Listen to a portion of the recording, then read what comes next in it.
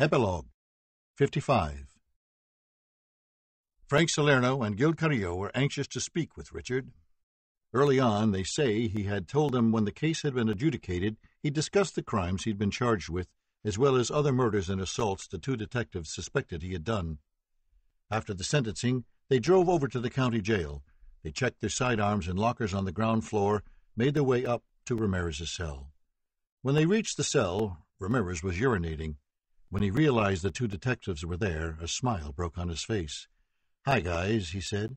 At this point, the cell door was opened by a sheriff's deputy. You have a minute, Richard? Frank asked. I've got a lot of minutes, he said, and they all laughed. A prison cell is like a man's home, and the detectives wouldn't enter it without being invited. Come on in, Richard offered, and they stepped inside. Richard told them he hadn't been referring to them in the speech he'd made in court. Frank reminded him he said he'd talk about his crimes after the case was over, and asked if he'd be willing to talk now. Richard said he would not talk about any crime he wasn't convicted of, citing his family as the reason, but he'd be willing to discuss the crimes for which he had been convicted. They moved to an interrogation room and began to talk. NBC was airing a made for television movie based on the Stalker crimes. Richard said he was looking forward to seeing it. The two detectives said they'd be watching it too. Salerno suggested they could come back the following day to talk some more and discuss the movie. Richard agreed. They discussed his sentence, his speech, the film, how packed the courtroom had been, and all the press the case had garnered. Salerno asked if it would be all right if they taped their conversation, and Richard said no. The detectives promised to come back in the morning. Could you use anything? Salerno asked, knowing the only way to get anything out of Richard was to treat him like a human being. Richard said he'd like some chocolate. Later that day, Richard was taken to the shower room and left alone. He saw a grated duct cover in the ceiling and decided to try and get it off. He couldn't move it with his hands, so he tried to kick it out of place. The sheriff's deputy on guard heard the kicks and caught Richard vandalizing state property, he wrote in his report. As punishment, Richard wasn't allowed to watch Manhunt, the TV movie he had inspired.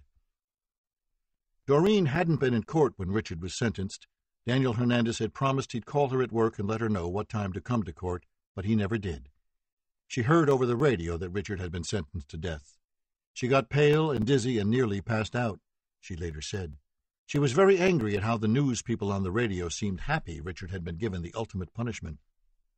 She had to see him and console him and let him know she'd be there to the end, that nothing would stop her from helping him, that she'd do anything for him. She left work, went home, and cried her eyes dry. With great effort, she then pulled herself together, put on a yellow flower dress, makeup on her face, combed her hair, set the VCR to tape the movie, and went to see Richard at the jail. Visiting hours didn't begin until 5:30 p.m. She got there at 3 and took her place at a long line filled with hard-eyed women and unruly children. It was very difficult for Doreen, standing there, not to cry. Two sheriff's deputies came out of the jail and asked her to come with them so they could look in her pocketbook. When the deputies were convinced she wasn't carrying any firearms or weapons, they let her get back into the line. When her turn came, she took the elevator up to the second floor, where the sheriff's deputies again searched her pocketbook, and a female deputy searched her person thoroughly. She was told she'd have to wait for all the other inmates to have their visits, then they'd bring down Richard. She sat on a bench, dazed, shocked, and stunned, for two hours, until the whole visiting area was cleared and Richard was brought out. As usual, the visit was through dirty, smoked plexiglass. He sat down as if the weight of San Quentin rested on his shoulders. Well, they did it, he said. I told you. I'm so sorry, Richard. Me too. But not for me. For my family. For my mother. For Ruth. You'll appeal it, and judging by how unfair the whole trial was, I'm sure you'll get a reversal. I don't know if I even want to appeal it. I don't want to go through another trial. Fuck that. Did you speak to my sister? I tried calling, but the phone was busy and I couldn't get through. Call tonight. Tell them everything will be all right, that you saw me and I'm okay. I will. Daniel didn't call me. That's why I wasn't in the courtroom. I'm sorry I wasn't there for you. Don't worry about it, he said, and looked down. Doreen had never seen him so sad and downhearted. Tears started rolling down her face. She told him that she loved him, and in the end he'd win his appeal. He told her about the shower incident. So that's why they searched me and made me wait, you think? That's why. Did you set the VCR? Yes, of course. And I'll write you and tell you about all the highlights. He thanked her and told her Carrillo and Salerno had come to visit. For what? she asked. Just to talk. They're coming back to discuss the movie. Be careful. Careful? About what? It's all over. No, it's not. Don't give up. You can win an appeal. Fuck an appeal, he said, and the deputies came up and announced time was up. Richard stood. He was taken back to his cell, angry he couldn't see the movie, hating what life had in store for him. In El Paso, Texas, the news of Richard's sentence hit the Ramirez family hard. They were all gathered at Joseph's house. Reporter Tony Valdez from KTTV in Los Angeles was also there. He had been kind to Ruth when she was trying to get her brother a lawyer in the very beginning, and had asked for permission to come to El Paso with a camera crew so he could capture the family's reaction to the sentence. Right after Judge Tynan had finished the sentencing, a colleague of Valdez's had run to the phone and called El Paso from the courthouse. Ruth answered and gave Valdez the phone as he ordered the cameras put on the family. The Ramirezes had turned down dozens of offers, some involving money for interviews. Only Tony Valdez was allowed near the family. He listened to his colleague say nineteen death sentences, turned to Julian Ramirez and said, Muerte, diecinueve veces. A sudden sadness enveloped Julian. He looked down and appeared like a man whose heart had been cut in two. In Spanish, Valdez asked Julian what he thought. He looked up and said, That jury may have sat in judgment of my son, but really there's only one who can judge him, and that is God. The camera moved to Ruth. I feel bad for the victims and their families, but we, too, have been victims. Valdez signed off, saying the family were also victims. The piece was shown on the 4, 5, 6, and 11 o'clock Los Angeles news broadcasts, and family members and survivors of the Night Stalker crimes called the station, complaining that Valdez had no right saying the Ramirez family were victims. They didn't want any sympathy extended to Richard's family. When Mercedes Ramirez left Joseph's home, she and Ruth went to church. Mercedes knelt in front of the Virgin Mary and prayed for her youngest boy's salvation. Ruth was crying too hard to be able to pray. Julian went home and sat in his easy chair, his powerful shoulders bent by the weight of Richard's imminent execution. He told Joseph and Robert he wanted to be alone. The boys refused to leave him. They were afraid their father might commit suicide. Julian looked down and stared at the floor without blinking. Tears rolled from his unseeing eyes and fell on the backs of his huge, large-knuckled hands. At seven o'clock that evening, the whole jury panel met at juror Shirley Jones's house. It was supposed to be a party, but there was a somber, sad cloud over everyone's head. It had been a very, very difficult thing for some, not all, of the jurors to render a death sentence. Regardless of how heinous the crimes were, Richard was still a human being who was going to be put to death because of our decisions Juror Martha Salcido said. Cindy, as well as Chocolate Harris and a few of the other female jurors, felt Richard had been railroaded into the gas chamber. Cindy said she thought the Hernandezes should be prosecuted for incompetence. They had no right not putting some evidence forward when it came to the penalty phase. Los Angeles Times photographer Mike Wu was there, and he took pictures of the jurors in which they wore serious, stern countenances. Later, when Cindy arrived home, she couldn't sleep. She felt haunted and deeply troubled by what she perceived as a terrible injustice. Her heart ached at the thought of Richard being executed because of her. She felt that had she held out, she could have caused a hung jury. She was mad at herself for allowing the other jurors to convince her to vote for death. She was also mad at Daniel and Arturo and Ray Clark for not offering any mitigating circumstance that could have allowed her to vote differently about the death sentence. She was still crying at dawn when she had to get ready to appear on AM Los Angeles along with two of the other jurors. She was on the air at 8 a.m. At the host's urging, Cindy looked into the camera and told California that Richard deserved the death penalty. But she added quickly his lawyers had done a poor job representing him. She said she wondered what made Richard tick and hoped some day she'd be able to meet and talk to him. Doreen made sure to catch Cindy's appearance on television. Of all the jurors, Doreen held only Cindy in disdain. She had seen the way Cindy had been looking at Richard during the trial, like she was hungry and he was food or something. She knew that Cindy had brought the valentine that said, I love you, for Richard's benefit. Gil Carrillo and his whole family had gathered at his home to watch Manhunt. He was very proud of being portrayed on television. He knew there was much more to the story the film hadn't even touched on, and hoped one day the complete story would be told the way it had really happened. When the movie was over, the Carrillos had a celebration. It wasn't every day one of theirs was featured in a movie. It was a proud moment, one of the proudest moments in my career, Gil later said.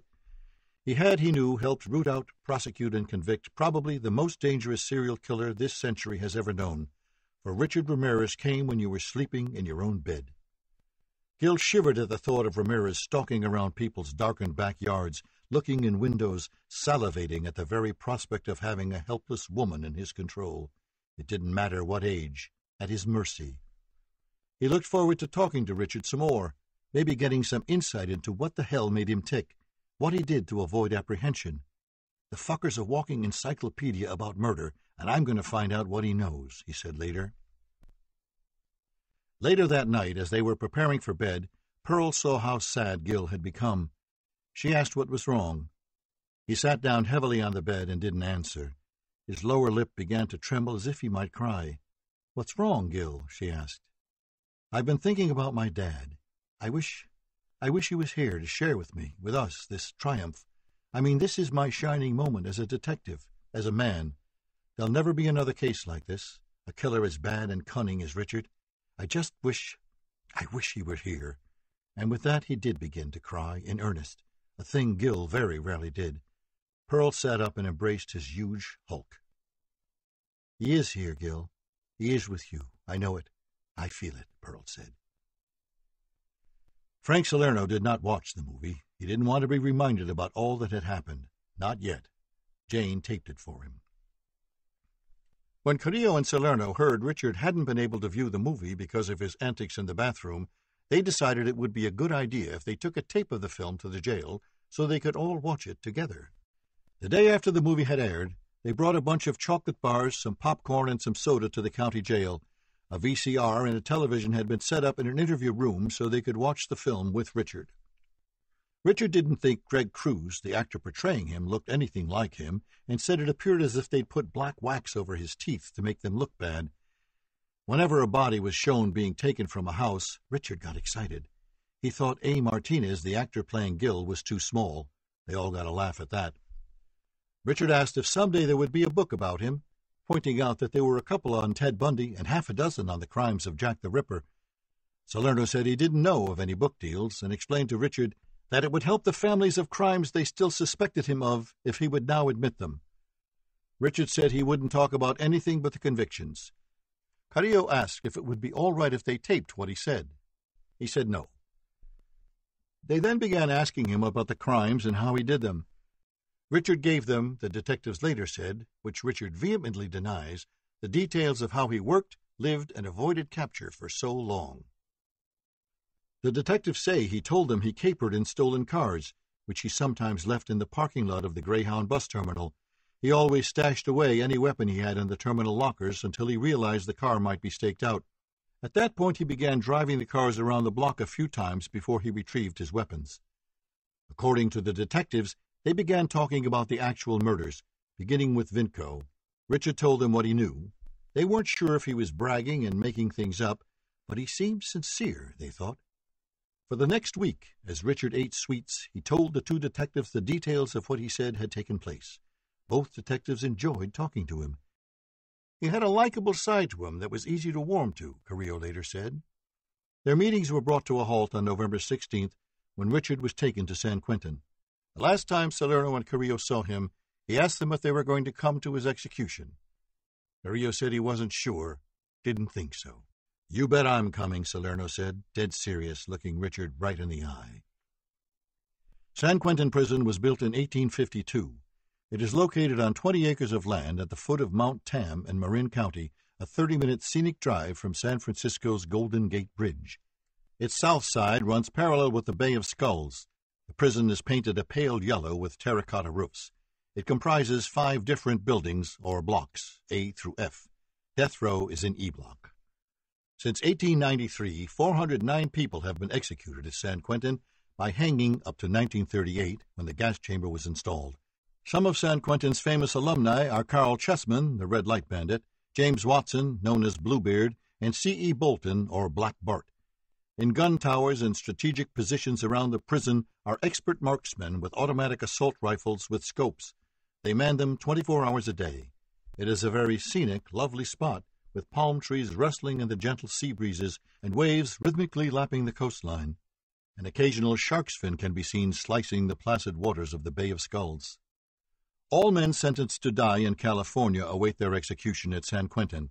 Some of the serial killers presently housed in E Block are Juan Corona, Randy Kraft, Lawrence Bittaker, Roy Lewis, David Carpenter, David Catlin, Douglas Clark, Mitchell Carton, and Bill Bonin, the freeway killer. These men would be Richard's neighbors. Richard was taken to San Quentin ten days after he'd been sentenced. The authorities viewed him as a security risk. They knew he had many female admirers, and they knew about the Satanists who had regularly visited the trial, and there were always rumors that someone was going to try and break him out. For security reasons, it was decided it would be better if he was flown to Quentin rather than driven. The helicopter landed on the roof of the county jail in Los Angeles and picked up Richard, and with three guards watching his every move, he was flown up north. Richard had never been in a helicopter before. He was like a wide eyed kid with a smile on his face, intensely looking out the window, though he began to get motion sickness. Still, he liked the idea of being flown to Quentin. It made him feel important and dangerous. He was shackled at the wrists and ankles and was wearing a blue Los Angeles County jail jumpsuit.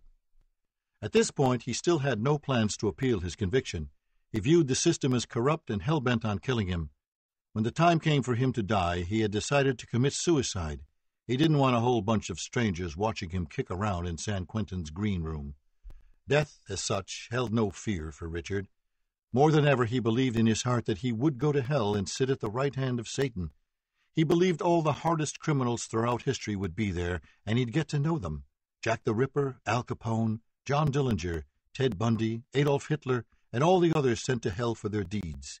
Heaven and hell were as real to Richard as the helicopter now taking him to San Quentin. When the prison came into view, Richard sat up and stared at it. It looked, he thought, more like some vacation hotel, a Club Med or something. In truth, Richard welcomed the change. He'd been locked up in the Los Angeles County Jail for four years. Time was easier to do in a prison than in a jail. The visiting, food, and general conditions are much better. Richard was handed over to heavily armed, grim faced San Quentin officials. He was put in the AC block known as reception. His prison number was E37101. All prisoners, except death row inmates, were kept in reception while they were evaluated, and it was decided where they would do their actual time. Richard still had the Pan assault and murder charges against him, and until that case had been adjudicated, he would not be moved to E Block after his obligatory three month stay in reception. He would, after evaluation, be transferred to the San Francisco County Jail to be closer to court for hearings and motions on the Pan matter. Lawyers from the San Francisco Public Defender's Office would be representing Richard in the Pan incident. Richard was put in another six by eight foot cell with an aluminum toilet, a sink, and a bunk bed. Prisoners in reception did not have access to phones, and their visits were for only two hours a week. In E Block, the inmates were allowed 24 hours a week for visits, and reception inmates were kept in the cell nearly 24 hours a day. Richard was assigned cell number 3AC8. Cindy Haden was having a hard time keeping Richard Ramirez off her mind. He was all she could think of his intense black eyes, his wavy black hair, his absolute and undeniable arrogance and danger. She dreamt of him nearly every night, often wondering if he had put some kind of spell on her. She would later say, The truth of the matter is, I think I fell in love with him the first time I saw him. I know it's nuts and everything, but I couldn't help it. It was just one of those things. A week after the sentencing, the Hernandezes asked to meet with her in the office of an attorney in downtown Los Angeles. After she'd waited for two hours, she called Ray Clark's office, hoping to locate the Hernandezes there. Clark didn't know they had requested a meeting with her. Cindy took the opportunity to complain to Clark about the defense, which she thought had been woefully inadequate. It was a sin no evidence had been presented on Richard's behalf during the penalty phase. Why didn't you do something during the penalty phase? she demanded. Because he wouldn't let us, Clark said. He's very stubborn. When the Hernandezes arrived, they told her Richard wanted to talk with her. If she was interested, she could write him in care of San Quentin Prison and gave her his prison number and address. Daniel then asked her what she thought of the defense they had mounted on Richard's behalf. Cindy Haden laid into the Hernandezes, saying they had done a terrible job of defending Richard, that they hadn't had enough experience, that they'd missed the most crucial element to their client's benefit. When Daniel asked what that was, She told them it was Satan. She believed Richard had been possessed by some demonic force when he'd committed the crimes, and they'd not even mentioned it, let alone tried to highlight it as a viable defense. It was something the jury should certainly have known about, she said. When she got home, Cindy wrote Richard a long letter saying how sorry she was about the death sentence and tried to explain that she and the jury as a whole had had no legal alternative but to vote for death. She mailed the letter and anxiously waited for a response, which took only four days. Richard wrote her back and said he understood, that she shouldn't feel bad about anything, not to beat herself up, and asked her to write him some more and maybe even come and visit. Cindy was thrilled when she got his letter and immediately wrote him back. The day after Richard left for San Quentin, Gil Carrillo left for Waikiki for vacation with Pearl, the kids, and four other couples. After ten days, he went back to work. He couldn't help wondering when the next serial murder case would come his way. During this time, Gil began thinking about running for sheriff. He had gotten a lot of publicity because of the Stalker case, and there were certain things in the sheriff's department that he would like to see changed. He talked it over with his wife, who said if that's what he wanted to do, she'd support him. Something was wrong with Frank Salerno. The problems had begun at the end of 1989 and had escalated. He'd started experiencing dizzy spells, then vertigo so bad the room would seem like it was spinning and he'd have to sit down. He went to his family doctor thinking there might be a problem with his inner ear, but the doctor couldn't find anything wrong. The dizziness and spinning not only continued, but got worse, and he developed insomnia. He told Captain Grimm, who sent Frank to see his own doctor, who did a complete physical. When the results came back, the doctor had bad news for Frank, which hit him very hard. Frank had high blood pressure and had developed a heart problem called arrhythmia. He told Frank he needed a lot of rest little excitement, and to change his diet no meat, no cheese, no fried food. Frank was forced to take a leave of absence, which proved to be very hard for him at first. He was a homicide detective through and through. Chasing and capturing killers was his passion in life, and now suddenly that was all taken away. The first time Ruth Ramirez saw Richard after the sentencing, she had come up to Los Angeles by bus, then, with Doreen, flown to San Francisco. Ruth felt Doreen really loved her brother, and Richard had told Ruth he could trust Doreen. When Ruth saw the first editorial piece Doreen had written defending Richard, she really believed Doreen was in Richard's corner, a hundred percent, and accepted her as if she had been a childhood friend or a sister. They drove to San Quentin and had to wait eleven hours to see Richard. There were always many prisoners in reception with a lot of visitors. The prison's facility for reception visits was small, and ten to fifteen hour waits were the norm. When Ruth finally did get to see her kid brother, she was surprised at how well he had taken the death sentence. It didn't seem to bother him, she'd later say. Richard was, though, concerned about what his parents were going through. Ruth told him they were not taking it at all well. Mercedes often cried at night, and their father was quiet all the time, never smiled, and seemed to be drifting away. He doesn't look well. His diabetes is getting worse, she said. Tell him I said this is a bunch of bullshit, that I didn't kill anyone, that this is all a big railroad job.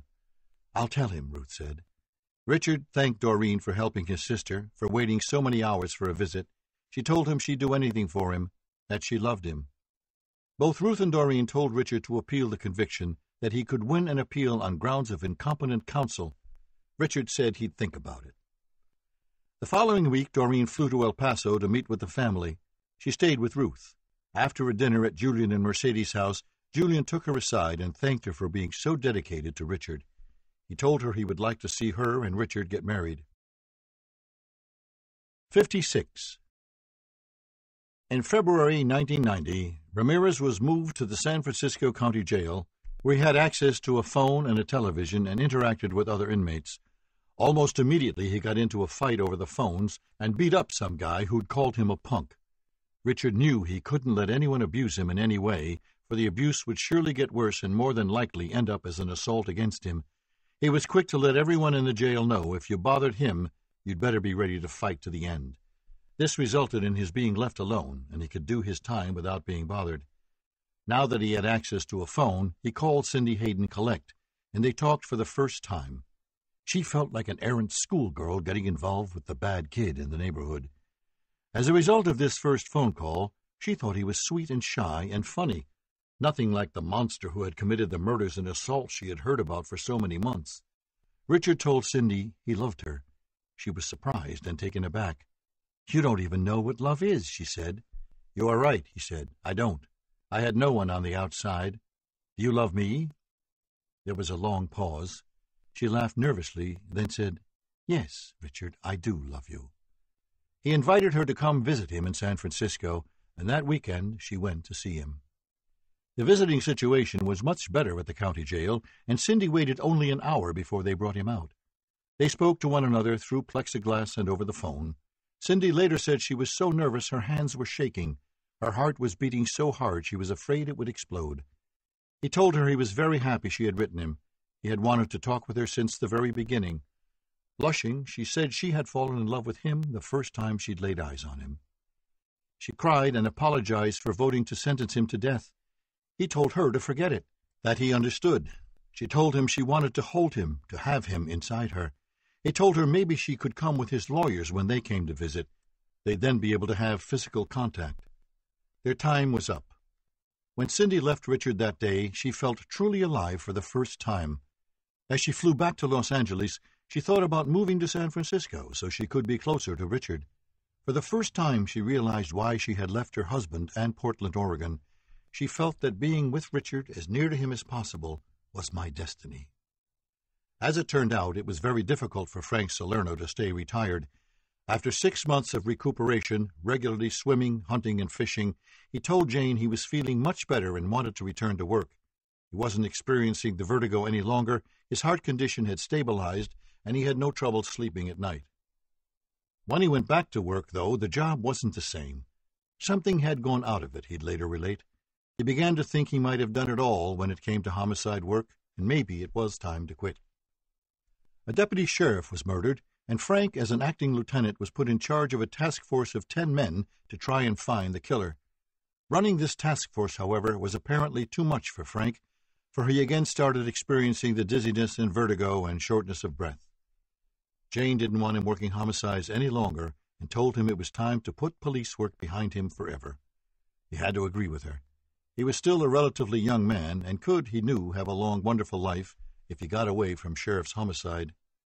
In August of 1993, Frank Salerno, the famous bulldog of sheriff's homicide, retired from police work for good.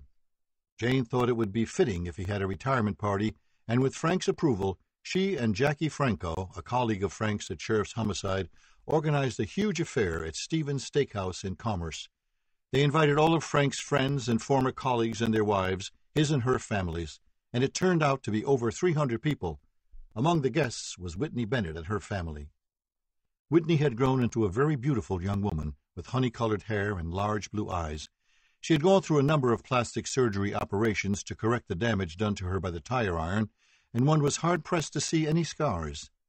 At the party, Jack Scully, Frank's ex partner and master of ceremonies, introduced her to the audience, including Mike Salerno.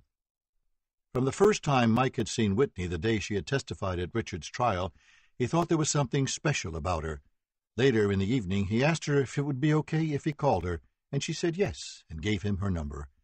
A few days after the party, Mike did in fact phone Whitney, and they began dating. The two hit it off very well and soon were deeply in love. It didn't take long for Mike to decide he wanted to be with Whitney forever, and he asked her to marry him. She said yes without hesitation. When Mike told his parents he and Whitney were getting married, Frank Salerno was a very happy man. He already cared for Whitney like she was his daughter, and this news put a huge smile in his heart and on his face.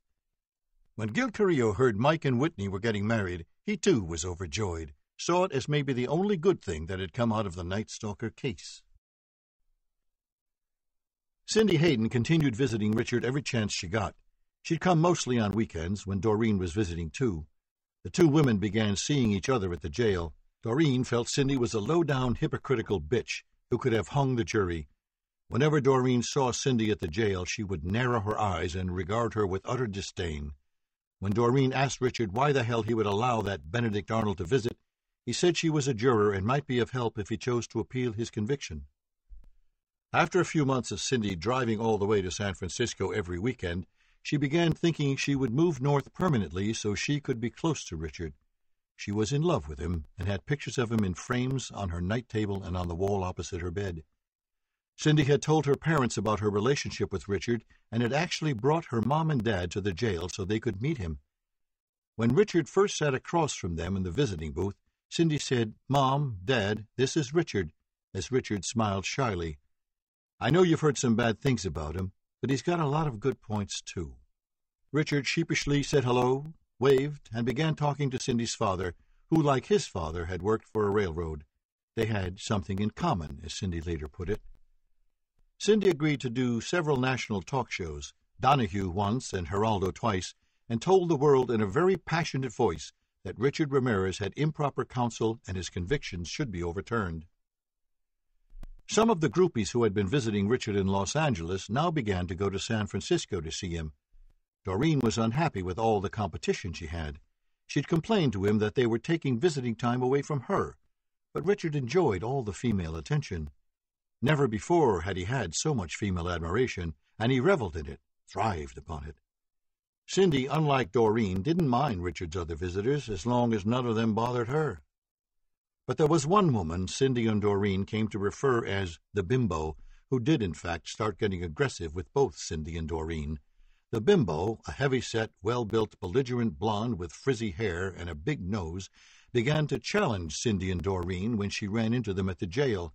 He's mine. Stay away from him or I'll break your face, she'd say regularly. Cindy stood up to her, telling her to fuck off. But Doreen did not have Cindy's combative nature and would take Bimbo's threats, taunts, and admonitions. The Bimbo began regularly to step on Doreen's toes and called her Dog Green. It got to the point that Doreen began asking the jail guards to walk her to her car. She was so afraid of the Bimbo. Doreen again complained to Richard, but he didn't stop the bimbo from coming to the jail. Several of the Ramirez women would bring phallic-shaped vegetables with them on their visits and would sexually excite themselves with the vegetables while Ramirez watched. For many of these women, Richard Ramirez was a turn-on. The fact that he was so dangerous and so close, yet couldn't hurt me, got me excited as soon as I sat down for a visit, one Ramirez groupie would later admit. It was like the Beauty and the Beast kind of thing. Cindy Haden wanted to be able to touch Richard, hold him, and be close to him, and she constantly thought of ways she could make that happen. When her employer had a mass layoff and she was fired, she decided she would become a private detective. If she had a detective's license, she'd be able to work with Richard's new San Francisco attorneys and have a visit with Richard in a private room. She applied for a job with a San Francisco security firm, was hired, and moved to San Francisco. She took a quiet apartment in Richmond. The security firm sponsored her for a license, and she passed the required examination. She went to one of the San Francisco public defenders representing Richard and talked him into taking her inside the county jail with him when he went to visit Richard. She and the attorney were shown into one of seven rooms allocated for lawyers who come to see inmates. It was ten by ten and had a wooden table and a few chairs. There were panels of glass in a wall so guards could look in. As Cindy waited for Richard to be brought down, her heart raced. She paced back and forth, her hands trembling. When Richard got there, the guard uncuffed him and he sat at the table. They were like two school kids, laughing and giggling. Under the desk, she raised her foot and put it on Richard's thigh. His eyes bulged. He couldn't believe he was actually sitting with one of the jurors who had handed him a ticket to the death room. After a few minutes, Cindy later related, the attorney went to look for a bathroom.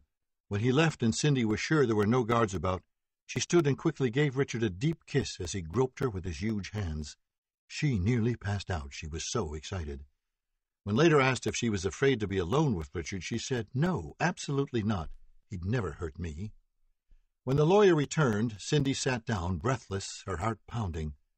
On subsequent visits to the jail, as she helped with Richard's legal problems, she says, she was able to have more contact visits and was actually alone with Richard. Gil Carrillo decided to run for sheriff. He felt there were grassroots changes he could make which would vastly improve the efficiency of the sheriff's office. His platform would be that of a detective who had intimate working knowledge of the problems inherent in any huge police department. He took a leave of absence in the spring of 1994 and began campaigning intensively. Pearl and his sisters pitched in and helped run his campaign office, made mailings, and hung up posters. His opponent, Sheriff Block, had become a giant in L.A. law enforcement. Gil's going up against him was akin to David taking on Goliath. Gill lost in the primary and dropped out of the race. As a result of his involvement in the Stalker case, Gil is often asked to speak to police agencies around the country, including the FBI Academy at Quantico, Virginia, and he always warns his colleagues to never discount any possibility when it comes to serial killers. Gil Carrillo is presently working homicides out of the East LA station. He is not at all bitter about losing the election. He always knew it was a long shot, but he had to give it a go. Today he is again trying to solve Los Angeles homicides, enjoying the work as much as ever. 57. Doreen continued to visit her true love on weekends and whenever she could get away. She wanted to move to San Francisco, but couldn't because of her magazine job. Whenever she saw Cindy, her stomach would turn. She'd later confide, I knew she was up to no good and really wished she'd just get lost. Doreen acted as Richard's confidant and secretary, took care of his correspondence, and passed messages to his lawyers and family. Often he received mail from all over the country, and Doreen helped him with his letters. He'd call her collect from the San Francisco jail, and she'd play heavy metal music for him over the phone. She put what money she made as an editor in his commissary account and did whatever she could to help him. When asked if she ever thinks about the crimes Richard was convicted of, she says, When you love someone, you only see the good in them. And that trial was a travesty of justice. Doreen's family was quite displeased with her for getting involved with the likes of Richard Ramirez, but that didn't put a dent in her feelings for him. He was her sunset and sunrise, as she puts it, and she hopes one day to be Mrs. Ramirez. Indeed, she says Richard has asked her to marry him, and she's accepted. Richard was becoming a problem for his San Francisco jailers. He was having just too many female visitors, some of whom argued and fought with one another at the jail. A current affair learned of Richard's admirers and did a story about all the fans coming to see him, which they appropriately called Death Row Romeo, it was decided Richard should be moved back to San Quentin for security reasons, the county jail told the press. On September 21, 1993, Richard was returned to San Quentin. He didn't want to be there, for he'd be housed in the adjustment center, where visits were exceedingly limited. He had no access to the phone, and he was locked up almost 24 hours a day. Doreen finally decided she had to be closer to Richard, and she moved to the San Francisco area and got a job as a caretaker Although she didn't have to drive the seven hours from Los Angeles anymore, in order to have a visit with him, she now had to go to San Quentin in the early morning hours to get a number. There were only three shifts of 13 visitors each visiting day for inmates in adjustment. Visitors' days were Thursday, Friday, Saturday, and Sunday. Doreen was regularly waiting 10 to 20 hours to get into the prison for a 30 minute visit through glass over the phone, though she didn't mind. She'd sit in her car eating sunflower seeds and write him love letters as she watched the sun come up, glistening like fire on the Bay of Skulls. With a job and someone she had to account to, she managed to see Richard only on Sundays, her day off. Likewise, Cindy Haden had to wait many hours for her Saturday visit. Richard tried to keep the two of them apart. They are, he laments, like oil and water. Doreen kept pressing Richard to make Cindy and the other women stop coming, especially the bimbo, but her demands fell on deaf ears. At times, Doreen would get so mad she'd leave San Francisco and go back to L.A., but inevitably she returned to Marin County. She realized Richard wasn't the most rational person, and she fervently hoped he'd see how much she loved him and make her his bride. She'd later say, I'm not just another one of his numbskull girlfriends. I believed we were getting married. I mean, otherwise I'd have left.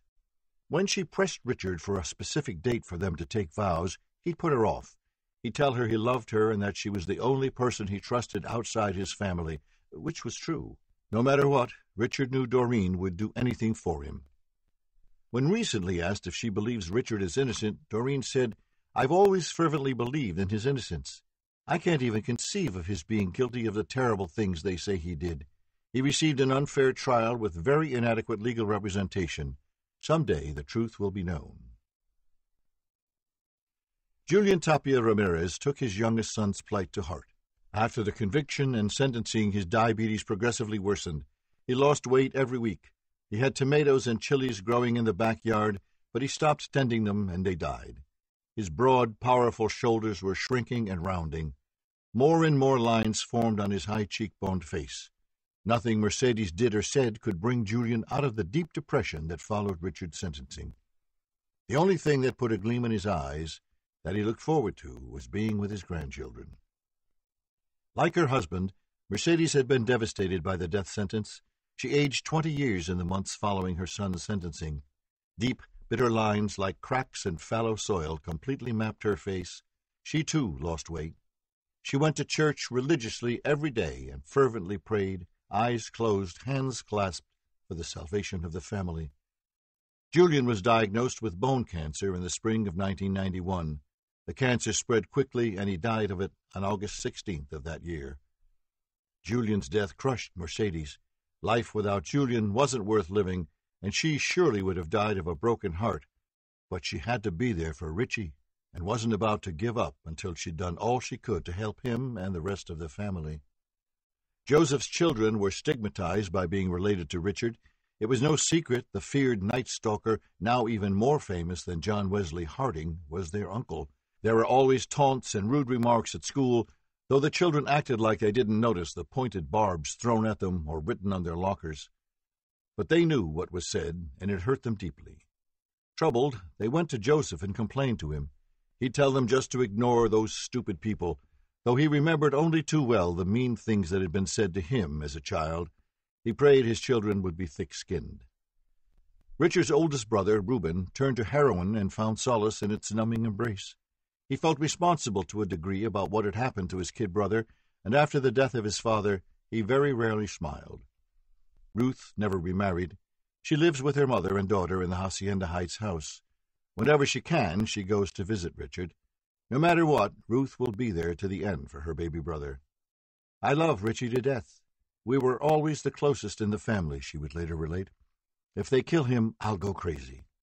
Joseph has a good job designating maintenance people at the Fort Bliss Army Base. He has many commendations, plaques, and awards. He works hard every day and goes to church several times a week. He still has much difficulty getting around, but he does his best and rarely complains. He too visits Richard when he can, twice a year or so, but it is a difficult trip for him, though he gladly makes it. Joseph loves Richard dearly. He gets a heavy heart and is brought to tears when he thinks of his brother's fate. Joseph, like Richard, Robert, and Reuben, often gets migraine headaches that are so bad he must lie down in the dark. You can't even talk to me when they come. It's like having hot needles in your brain. Robert still lives in Morenci, Arizona, working in its mines. He is divorced now and sees his two daughters on weekends. When he can, he drives to El Paso to see his mother and his siblings. He has stopped using drugs and avoids trouble at all costs. Cousin Mike, the person most people believe put Richard on the path he traveled, died of a massive heart attack in April of 1995. He was overweight and still haunted by the ghosts of things he'd done in Vietnam, regularly using heroin. The Army gave Mike a hero's burial with a 21 gun salute. For the first time since he'd been arrested, Richard has excellent, very competent legal counsel in the form of five foot seven Michael Burt with the San Francisco Public Defender's Office. Burt is a handsome, nattily dressed advocate who knows the law backward and forward and comes to court very well prepared. He was one of the lawyers who helped defend Lyle Menendez in his first trial, and he represented the very infamous Charles Ng, who, with Leonard Lake, tortured, sexually assaulted, and killed dozens of people in front of a video camera on a ranch in Wilseyville, California. The San Francisco district attorney had been planning to try Richard for the Pan murder, Many in law enforcement say it was a waste of taxpayer money. However, when Burt had extensive psychological tests done on Richard for the first time and moved Richard's plea from not guilty to insanity, the San Francisco district attorney backed down. He said they would prosecute Richard only if he won an appeal in the L.A. convictions. Jerry Russell, out of San Diego, is Richard's appeals lawyer. She, like Burt, is an excellent attorney who leaves no stone unturned. She believes Richard has a very good chance at getting a reversal and is presently working hard on perfecting his appeal. There were many major mistakes, the least of which was incompetent counsel. The Hernandezes should have never been allowed to represent anyone in a capital case. If, indeed, Richard wins the appeal, he will have to be brought back to the L.A. County Jail and tried all over again, a very daunting, unsettling prospect for the L.A. District Attorney's Office. The appeal, Russell says, won't be ready until the end of the century, and by then it will be nearly 20 years after the crimes, which would put the prosecution at a huge disadvantage. Witnesses die, move away, and forget details. Today, Frank Salerno has adjusted to his retirement. He has no heart problems, the vertigo is all gone, and he sleeps well. He doesn't miss being a homicide detective at all. I did it all and saw it all. There just wasn't anything left I'd not done. I got out just in time. It takes its toll on you. You think you are okay, but it breaks you down. Murder is not a healthy occupation. Often, Frank is invited to speak at police seminars about the stalker and the hillside strangler crimes around the country. He feels obligated to tell people in law enforcement what he learned about apprehending serial murders as a result of all the experience in the two huge cases. He recently said, What makes serial murder cases so difficult to solve is the fact that the killer and the victim are strangers. You've got two ships passing in the night, and for no good reason, one blows the other out of the water. Today, Ramirez is still sitting in his cell in the adjustment center at San Quentin, waiting for his appeal to be argued, getting visits from Doreen, his family, and other supporters. He says he was railroaded and has hopes in the appeal. He has changed much in the 11 years since August 1985. He's gained 35 pounds and he's mellowed out. The seething anger he often expressed in court seems to be filed in a place he now has control over. But by no means has he adjusted to the reality of his existence. He does not like being in the adjustment center, saying it's cruel and unusual punishment, and he often paces his cell like a caged panther. He recently said of his predicament, I don't know how much longer I can hold out in here. This existence sucks big time, boring as hell. No drugs, no pussy, might as well be fucking dead. Check this out a little bit of philosophy. Desire comes from the loins, emotions come from the heart, and knowledge comes from the head. When not pacing, Richard writes letters and reads books, everything he can get his hands on about murder. He's become quite the expert on killers and killing. Richard believes he will win the appeal, win at a new trial, and be set free. He still has faith, as strong as ever, in Satan, and believes he, Satan, will ultimately make him victorious and free. In early 1995, when Richard was coming back to San Quentin from court appearances on the Pan matter in San Francisco, the prison's metal detector went off. The guards searched him thoroughly and couldn't find any contraband, yet the metal detector still sounded when they passed him through it again. Officials put him in front of an x ray machine and discovered he had a handcuff key and a hypodermic needle in a little vial hidden in his anal cavity, a very common practice in jails around the world known as keistering. Because of this incident, the San Quentin guards these days watch Richard Ramirez very carefully. When Richard was asked recently how to avoid becoming the victim of a serial murderer, he said, You can't. Once they're focused on you, have you where you are vulnerable, you're all theirs. Dahmer used to invite you home for a drink, and the next thing you knew, he's eating you. Same thing with John Gacy. He'd put on his clown face, do a couple of tricks, and suddenly he had you handcuffed and in his control. What people can do is not trust someone you don't know, and to always be aware of what's going on around you. When you drop your guard, that's when a serial killer moves. 58. The Wedding. Thursday, June 27th of 1996, Richard Ramirez was moved out of the adjustment center to San Quentin's East Block, Death Row, where he would be allowed regular contact visits with his family and friends, the first since he'd been arrested. His attorney, Michael Burt, had been writing letters to the prison for many months, demanding that Richard be taken out of the adjustment center. His family had been praying for that, and Doreen wanted him to be moved more than anything in the world, for in East Block Richard Ramirez would be allowed to wed. Richard had taken the bimbo off his visiting list and had told Doreen that if he was moved to East Block he would marry her. Since the first time she'd seen Richard on TV being taken away from the angry mob on Hubbard Street, she had wanted to marry him, to fight his battles, to be known as Mrs. Richard Ramirez. That day Doreen went to the prison for her regular Thursday visit, but was told that Richard had been moved. Moved to where? she asked the guard. Don't know yet, she was told curtly. Doreen had always been afraid that something terrible would happen to Richard while he was at San Quentin. She knew it was a dangerous place. Men were being killed all the time in fights with other prisoners. In a panic, she went back to her little apartment in San Rafael and sat by the phone, hoping, praying that Richard had been moved to East Block. She sat by the phone, not eating or sleeping the whole night. As each hour passed, her heart sank lower and the knots in her stomach grew tighter. As dawn slowly broke in the east, she looked out the window. A low gray sky hung over San Quentin like a funeral shroud, portending something ominous. At 8 a.m., the phone rang. She jumped at the sudden sound nearly falling out of her chair. It was Richard calling from East Block.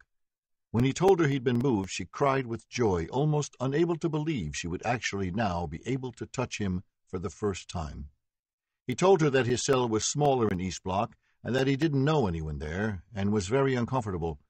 There were, he said, some very infamous serial killers in the cells to either side of him Randy Kraft, Juan Corona, Lawrence Bittaker, a.k.a. the Pliers, because he ripped off the nipples of his victims with a pair of pliers. Doreen was so excited she could barely hold the phone. She said, Well, now that you are there, are we getting married? I said, he said, we would and we will. Promise? Promise. Oh, Richard, I love you, she gushed, crying uncontrollably with joy now, gasping for breath. He told her to put away all the tears and come on over to the prison. I'm on my way, darling, she said, and in a whirlwind of activity, her heart pounding away as if she'd been running, she showered did her hair, put on her makeup and a new special flower dress she'd been saving for this occasion, and ran out the door. She jumped into her car and sped over to the prison, went through security, and with trembling legs and sweating hands, walked the 150 yards from the front gate to East Block.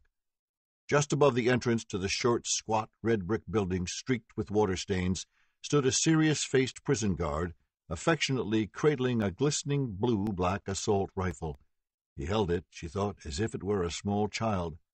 She wanted to wave to him, to say hello, but she knew Richard wouldn't like that. And she walked up to the east block's tall door. A guard opened it electronically from the inside. She gave him her driver's license and visiting pass, and with hesitation walked slowly into the room where all death row inmates have their visits. It was two hundred feet wide and fifty feet deep, the walls industrial gray, a hundred hard orange plastic chairs were bolted to the gray cement floor in neat rows going left to right. On her right there was a bank of coin operated machines that dispensed coffee, candy, hot soup, and sandwiches, even foamy cappuccino. Nearly all the chairs were filled with the condemned and their visitors. Wearing their Sunday best, children of the convicts ran about. Doreen's eyes quickly scanned the room. Richard was not there yet. She recognized women she'd met over the years, visiting with their men. One or two waved to her, small, sedate movements. Doreen recognized notorious Los Angeles gang member and serial killers whose faces had been plastered all over the newspapers and television. She was so nervous her stomach felt as if there were huge butterflies fluttering about in it. Then, off to her right, on the far wall, a thick steel door opened, and there, suddenly, was Richard Ramirez. She couldn't believe her eyes. She walked slowly toward him as if he were a mirage that might disappear any moment. When people in the room realized who was abruptly among them, there was a hushed silence. Richard had not walked free among men, women, and children since the day of his arrest, one hundred and thirty-two months ago. Eleven years, she thought. He looked like a spooked deer caught in the headlights of a speeding car. He had to wear glasses now. They were silver, large, and round, making his dark eyes appear huge, owl-like. He spotted Doreen and slowly moved toward her. As she got closer to him, Doreen felt as if she might faint. She reached out and embraced him. He flinched at her touch and led her to a corner of the room where there were two empty seats. Awkward, uncomfortable being around people, he sat. Doreen kept thinking he would disappear any moment. She couldn't stop crying, which annoyed Richard, and he kept telling her to put away the tears. I can't. I'm sorry. I'm just so happy. She reached out to caress his face. He recoiled. He was not, she'd later tell a journalist, accustomed to being touched affectionately. He again told her they would be married, and they talked about getting his family up from El Paso. Marriages on death row occur every four months, and Richard promised her he would tell the prison to put him down for it. The next time they'd be able to wed, he said, was October 3rd. Before she knew it, her time was up. They embraced goodbye, and she said she'd be back the next day. Now that Richard was in E Block, he could have contact visits from 8 to 2 p.m., Thursday, Friday, Saturday, and Sunday. The thought of being able to spend so much quality time with Richard made her head swim. When she arrived home, feeling as if she were walking a foot above the ground, she called Richard's sister Ruth in El Paso and told her the wonderful news that Richard had been moved and that they were going to be wed on the 3rd of October. Ruth, too, cried with joy, congratulating her soon to be sister in law. She, Ruth, knew how much Doreen wanted to marry her brother, and she was truly happy for her. She thought also that Doreen would be a positive influence on Richard, certainly a world better than the other women, the Satanists and freaks, that had congregated around Richard since his arrest. They made plans for Ruth to come up a few days before the wedding day so they could spend some time together and Ruth would be able to hold her baby brother. As if it were yesterday, Ruth remembered Richard as a little boy who used to love to dance to the radio. Thinking of him like that, with his wide eyed innocence and easy smile, made her heart roll over in her chest. When Ruth hung up with Doreen, she told her family the good news. Her brother Joseph said he wanted to go to the wedding, and he immediately arranged to take time off of work. His older daughter, now seventeen, wanted to come. True to his word, Richard did ask prison officials for permission to marry Doreen on October 3rd. They gave him a form to fill out, which he promptly did, listing Doreen as his fiancée. According to the California Penal Code, prisoners have the legal right to marry. The prison approved Richard's marriage, and his and Doreen's names were added to the list of ten inmates marrying that day, three from death row. It was quickly pointed out to a curious journalist by San Quentin's Public Relations Department that prisoners on death row do not have the right to conjugal visits. Doreen had to have an appropriate wedding dress and went from store to store searching for one. I wanted something plain, not a gown with a veil, anything like that. I've seen women in bridal gowns at the prison, and they well, they looked silly. Mine, I decided, would be simple and plain, and of course, white. Doreen was, she would tell anyone who asked, a virgin, and she would, she said, wear a white dress proudly. Richard knew I'd never been with anyone else. I'm sure that's one of the reasons he asked me to marry him. A suitable dress, though, was much harder to come by than she imagined. She finally found the right dress at Macy's. Tasteful and appropriate, it was satin and lace, knee length with a wide neck, and cost $145. Next, she had to shop for the rings. She drove to San Francisco for them and picked out two simple wedding bands, hers gold and Richard's platinum. When later asked why Richard told Doreen not to buy a gold ring for him, he said because Satanists don't wear gold. The press got wind of the wedding on Saturday, September 22nd. The first reporter to contact Doreen was Marcia Ginsburg of the San Francisco Examiner. Doreen, for the most part, was very distrustful of reporters and what they thought of her impending marriage to Richard, but Marcia assured her that the piece would be respectful. Doreen agreed to an interview, and the story ran on the front page of the Examiner's Sunday edition. The headline read, Night Stalker Gets Virgin Bride, Death Row Wedding, and the article went on to describe Doreen as a Catholic who vowed to retain her virginity until marriage says she loved the Satan revering Ramirez from the first time she saw him in 1986 and doesn't believe he committed the crimes. The Examiner story hit like a bomb in northern as well as southern California.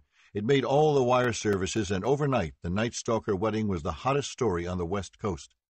Reporters descended on Doreen like hungry vultures with no table manners, she would say.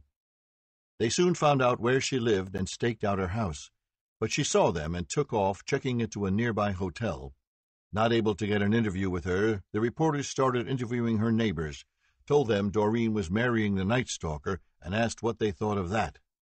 An outrage. She needs a good doctor. How does that cold blooded killer get married after killing people's husbands and wives? What he should be is shot like a rabid dog, not getting married. Goes to show you our society is going to pot. It's a travesty of justice. It's a dirty, rotten sin, were some of the responses. Even the Los Angeles Times did a story, a front page piece by Pam Warrick. The Times headline read, I saw something that captivated me. Jay Leno began doing skits on the upcoming wedding. He did four consecutive nights of jokes. On one show, Leno said, they had the actual wedding cake, and a big cake was dramatically wheeled onto the stage, and the groom on top of it had wild hair, holding a long knife over his head. The audience howled.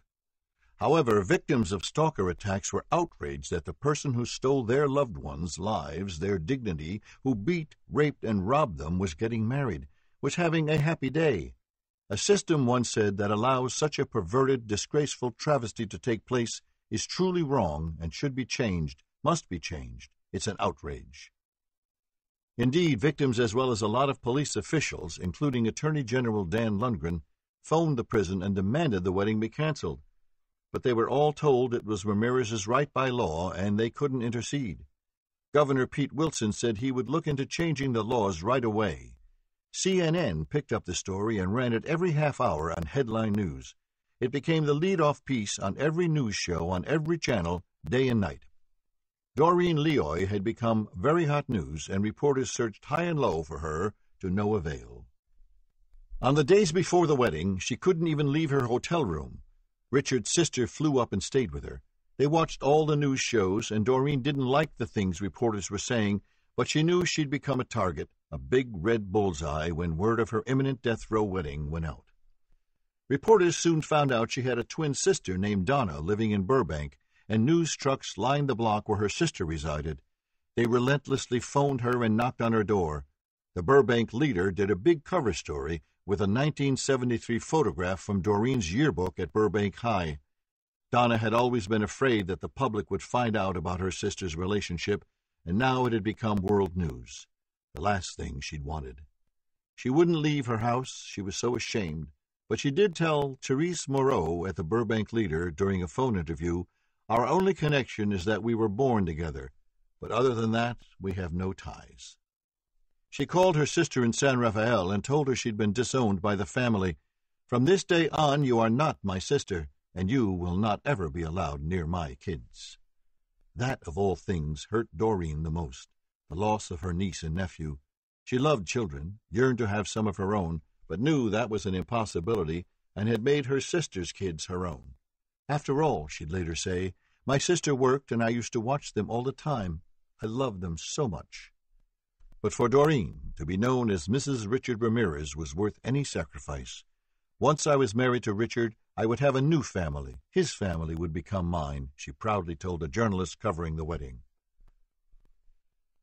The day before the wedding, which was scheduled for 8 a.m., the press descended on San Rafael, the home of San Quentin.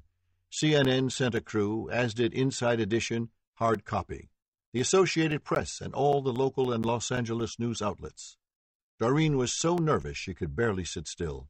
She paced back and forth, watching the news shows about her and her wedding, and critiquing every piece sharply.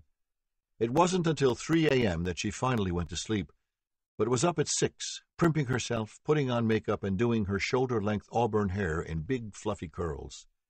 The day was gray. Fog rolled in from the Bay of Skulls and hung a foot above the prison grounds. Doreen, with Ruth, Joseph, and his daughter, left the hotel for the prison at 7.45 a.m.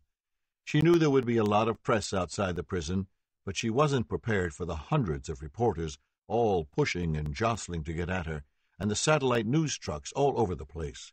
She turned her face and refused to answer questions tossed to her as she made her way through security at the front gate entrance.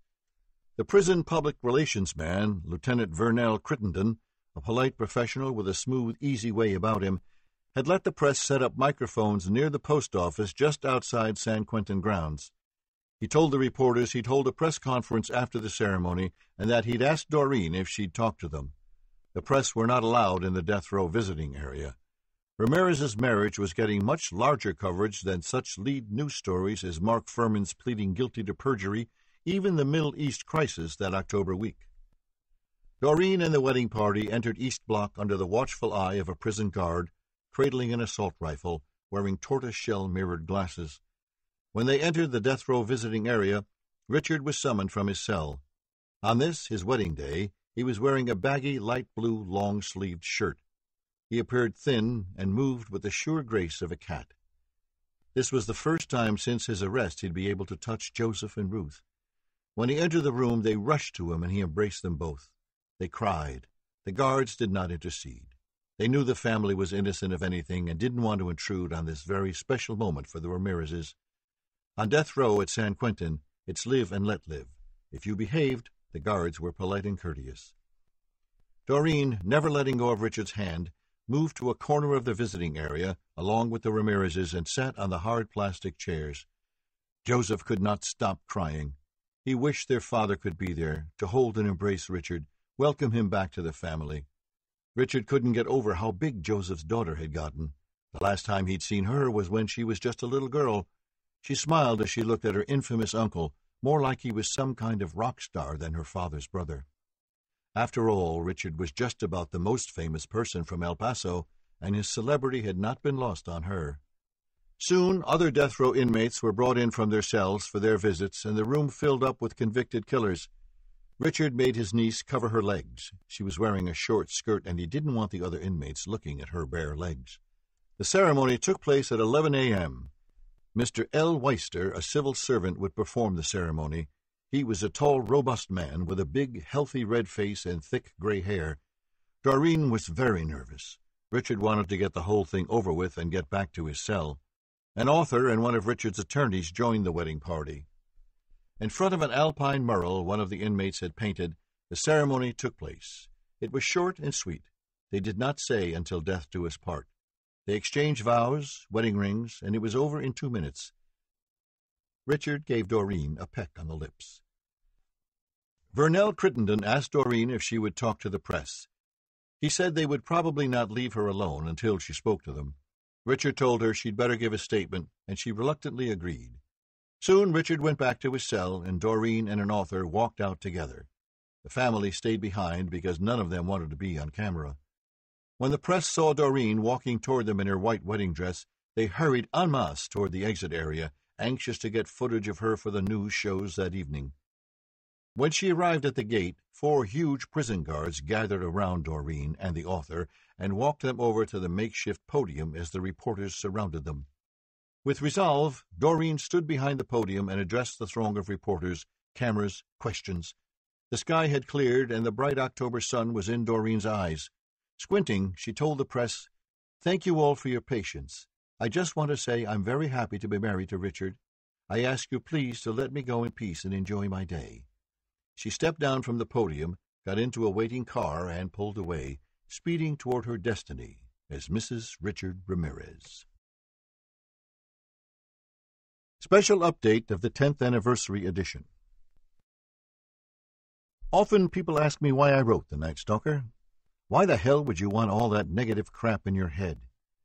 This is a long, involved story, but to make it short, in 1992 I was intent on writing a novel about serial murder that truly would portray what goes on inside a serial killer's mind before, during, and after a murder. I planned to simply lay out in a compelling, suspenseful way the building blocks that make a serial murderer. I am a staunch believer in doing research, getting out in the world and seeing for myself what's going on, and talking personally to the players who know the truth.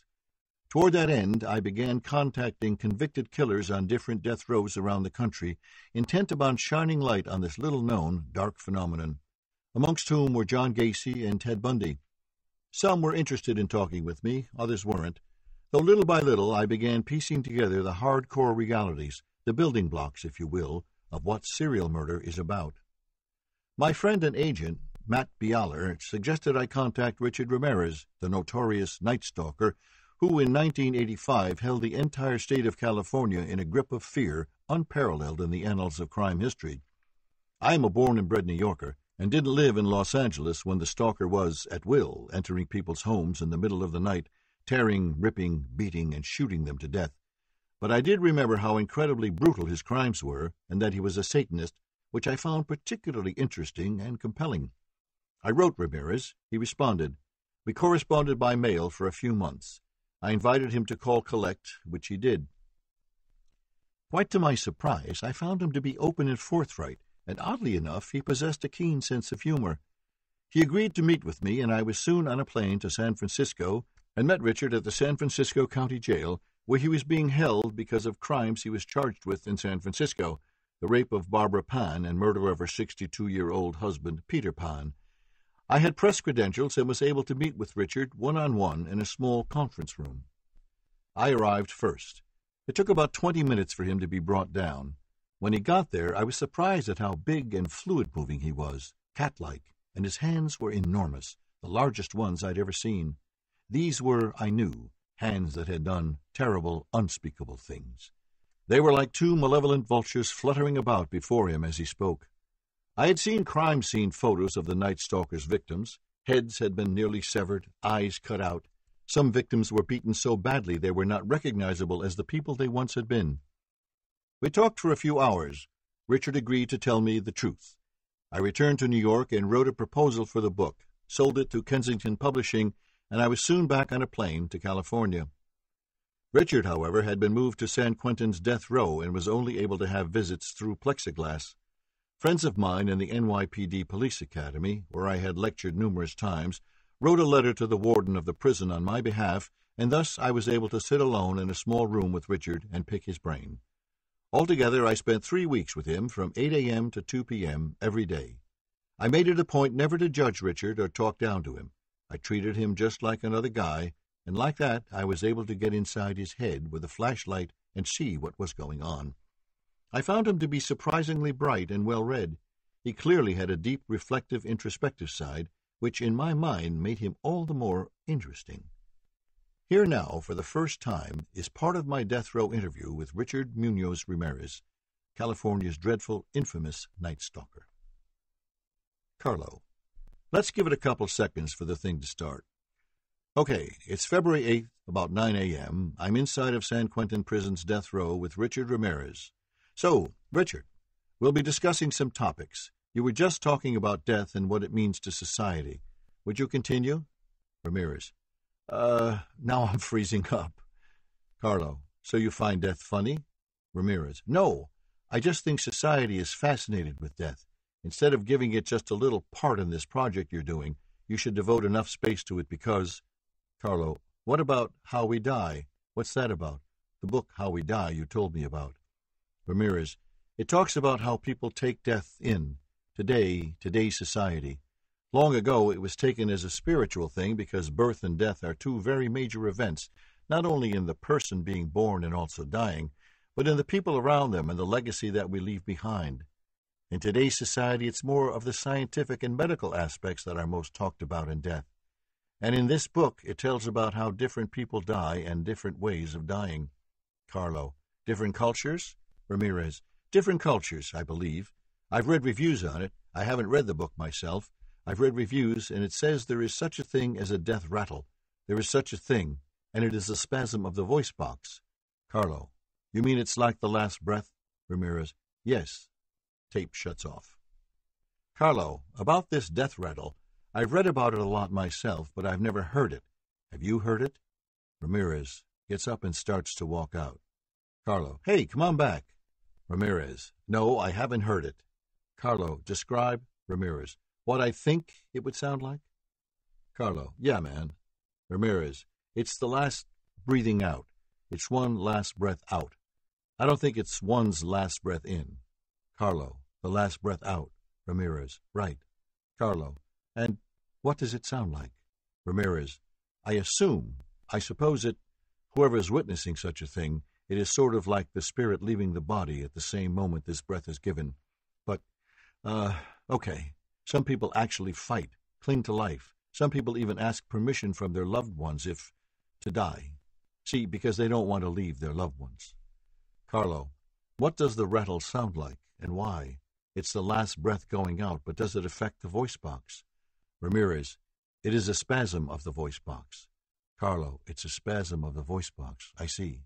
Ramirez, yes, I would assume it doesn't sound like any breath we take during our lifetimes. It is sort of like when a baby is born and he is slapped on the bottom, he takes a deep breath in.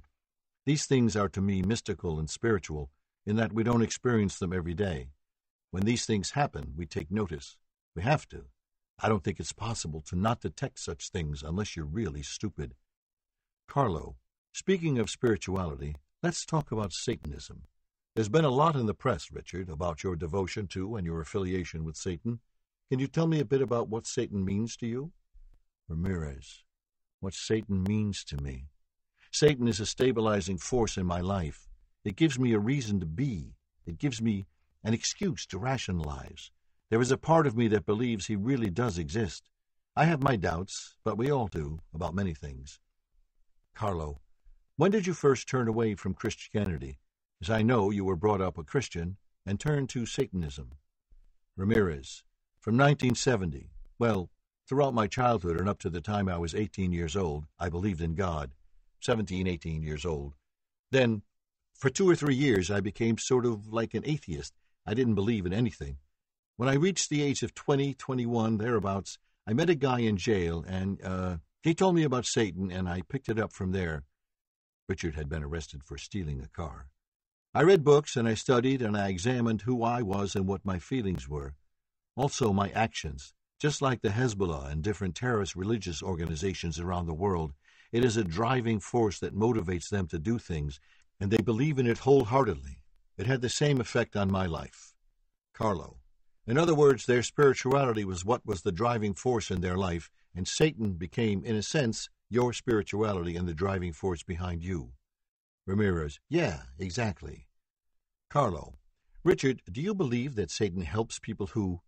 Tape shuts off. Richard, do you believe that Satan helps people to be able to do things they wouldn't normally do? For instance, in Matamoros, Mexico, Adolfo Constanzo killed many people, and he was committing human sacrifices to protect the Hernandez drug cartel down there from the police. And he fervently believed that Satan would protect him, and so therefore made human sacrifices. Do you feel that kind of reasoning has any place? Ramirez. Place in Satanism? Carlo. Yeah. Ramirez. I don't know the structure of hell itself, or demons, or demonology, but I do know when you tamper with witchcraft, when you tamper with Satanism, be it voodoo, Carlos. Santeria? Tayo? Mayombe? Ramirez. Yeah. Any type of sacrifices or contacting the spirits, you're dealing with things that are very delicate and dangerous. I myself am no warlock. I'm not a wizard. I'm not one of these types of individuals that knows his witchcraft from A to Z. But I have heard and read of instances where people end up getting killed and uh, arrested for tampering with the wrong demons and not using the right types of uh, the right process of sacrifices and the right types of rituals. You have to know what you're doing. Everything from ropes to chalices. Carlo. Everything has to be done right. Ramirez. Exactly. From what I know, certain symbols like pentagrams are supposed to protect you from the demons themselves. Carlo. Yeah. You were seen in court once with a pentagram inside your hand, and you held it up and showed it to the press and the audience. Why did you do that? Did you feel that it would protect you? Or were you just making a statement that you were in alliance with the devil? Ramirez. Yes, it was a statement that I was in alliance with the evil that is inherent in human nature, and that was who I was. Carlo. Richard, tell us about the Marquis de Sade. I know that since you've been incarcerated, which is about eight years, you've been reading an awful lot, and one of the things you've read is the Marquis de Sade. Richard. De Sade had a large, um, a large somewhat large following in his time. He had a philosophy, a way of thinking that was contrary to what people of his time thought, and eventually he paid the price for it. They placed him in an insane asylum where he died. His belief was that there was pleasure in painful sex. He wrote many stories, short stories. One of my favorites was Justine. He talked about the governments and how there were oppressors. Carlo. Hypocritical? Ramirez. Huh? Carlo. And hypocritical? Ramirez. Hypocritical. Takers away. They took away rights that belonged to individuals. Carlos. Sexual rights? Sexual freedoms? Ramirez. Yes. Carlos. But essentially de was a sadist, right? Ramirez. Yes, yes. He liked to inflict pain. Carlo. He liked to inflict pain. Ramirez. Inflict pain. Carlo. Right. Do you feel he was ahead of his time, in a sense? Do you feel he knew something about human nature and explored it that other people seem to deny? Ramirez. Well, I believe that as time goes by, mankind will find new and different ways of living. Let's see, and uh, he may have been ahead of his time, or maybe he just came about at the right time with his ways of thinking. Carlo. I believe they had the death penalty in the time period de Sade was alive. Ramirez. I think it was the guillotine. Carlo. The guillotine. Ramirez. I think this, he, uh, all this took place in or about France. Carlo. They did not give him a death sentence for his practices, but they indeed locked him up for the entirety of his natural life. But Ramirez, because of the stories he wrote. Carlo, because of the stories he wrote? Ramirez, I believe. Carlo, they went against society. But what are your feelings about the death sentence, Richard? Tape shuts off. So, Richard, over the last 10 years or so, there's been a lot in the press, and there indeed have been a lot of people arrested all over the country for committing what amounts to a series of murders. These individuals are called serial killers because they kill in a series of crimes. Would you tell us why you think there's such a phenomenal number of serial killers being identified and captured these days? Ramirez, you asked me why I think there's an abundance of serial killers, right? Carlo, in society today. Ramirez, right, in society today. I believe that uh, tension in the workplace and also lack of jobs and the way families are are brought up and child abuse. Sure, it's like a recipe.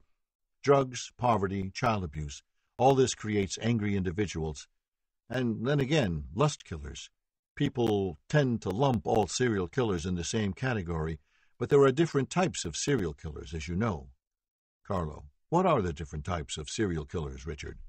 Ramirez, some serial killers kill prostitutes. Some serial killers kill young boys. Uh, some serial killers kill homeless people.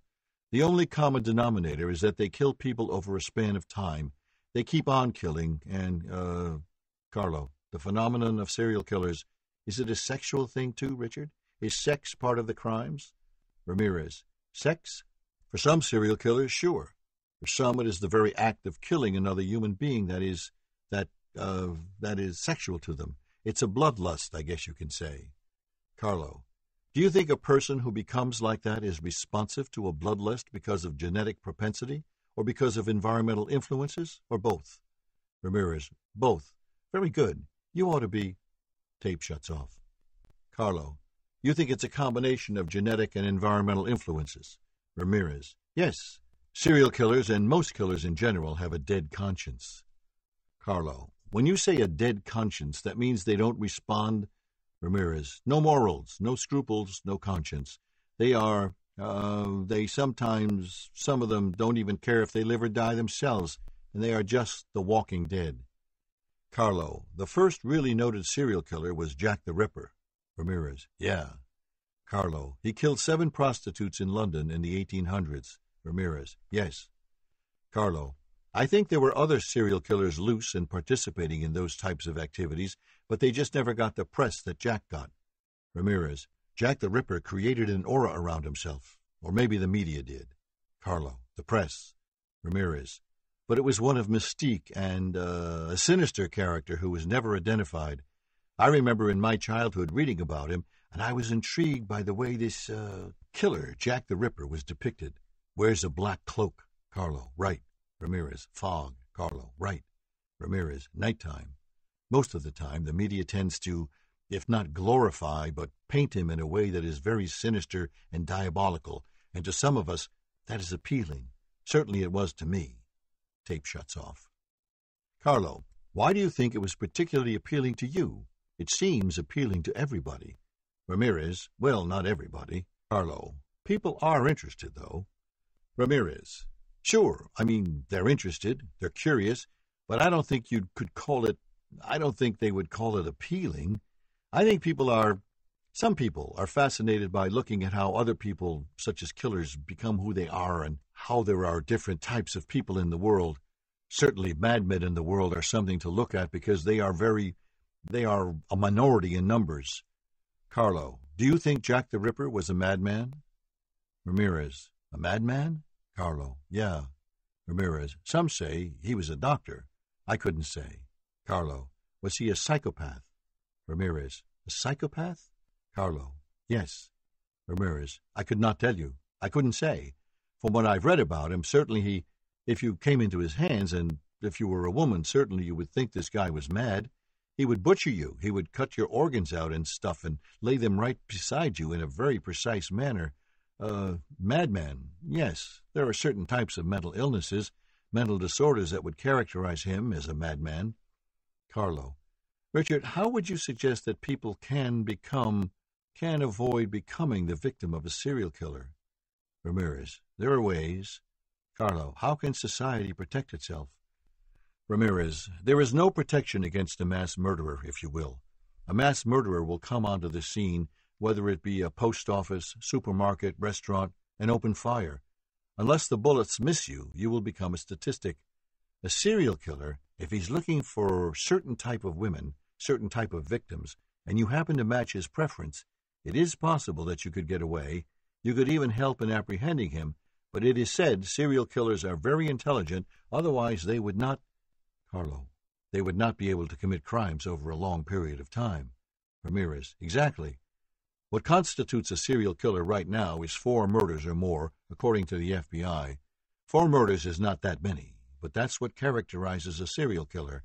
I suppose to avoid being a victim is, Carlo, being aware of the environment, being aware what's around you? Ramirez, taking precautions, locking your doors, having your keys ready when you open doors, being on guard. Carlo, your keys ready when? Ramirez, when you open doors. Carlo, look over your shoulder. Ramirez, yes, of course.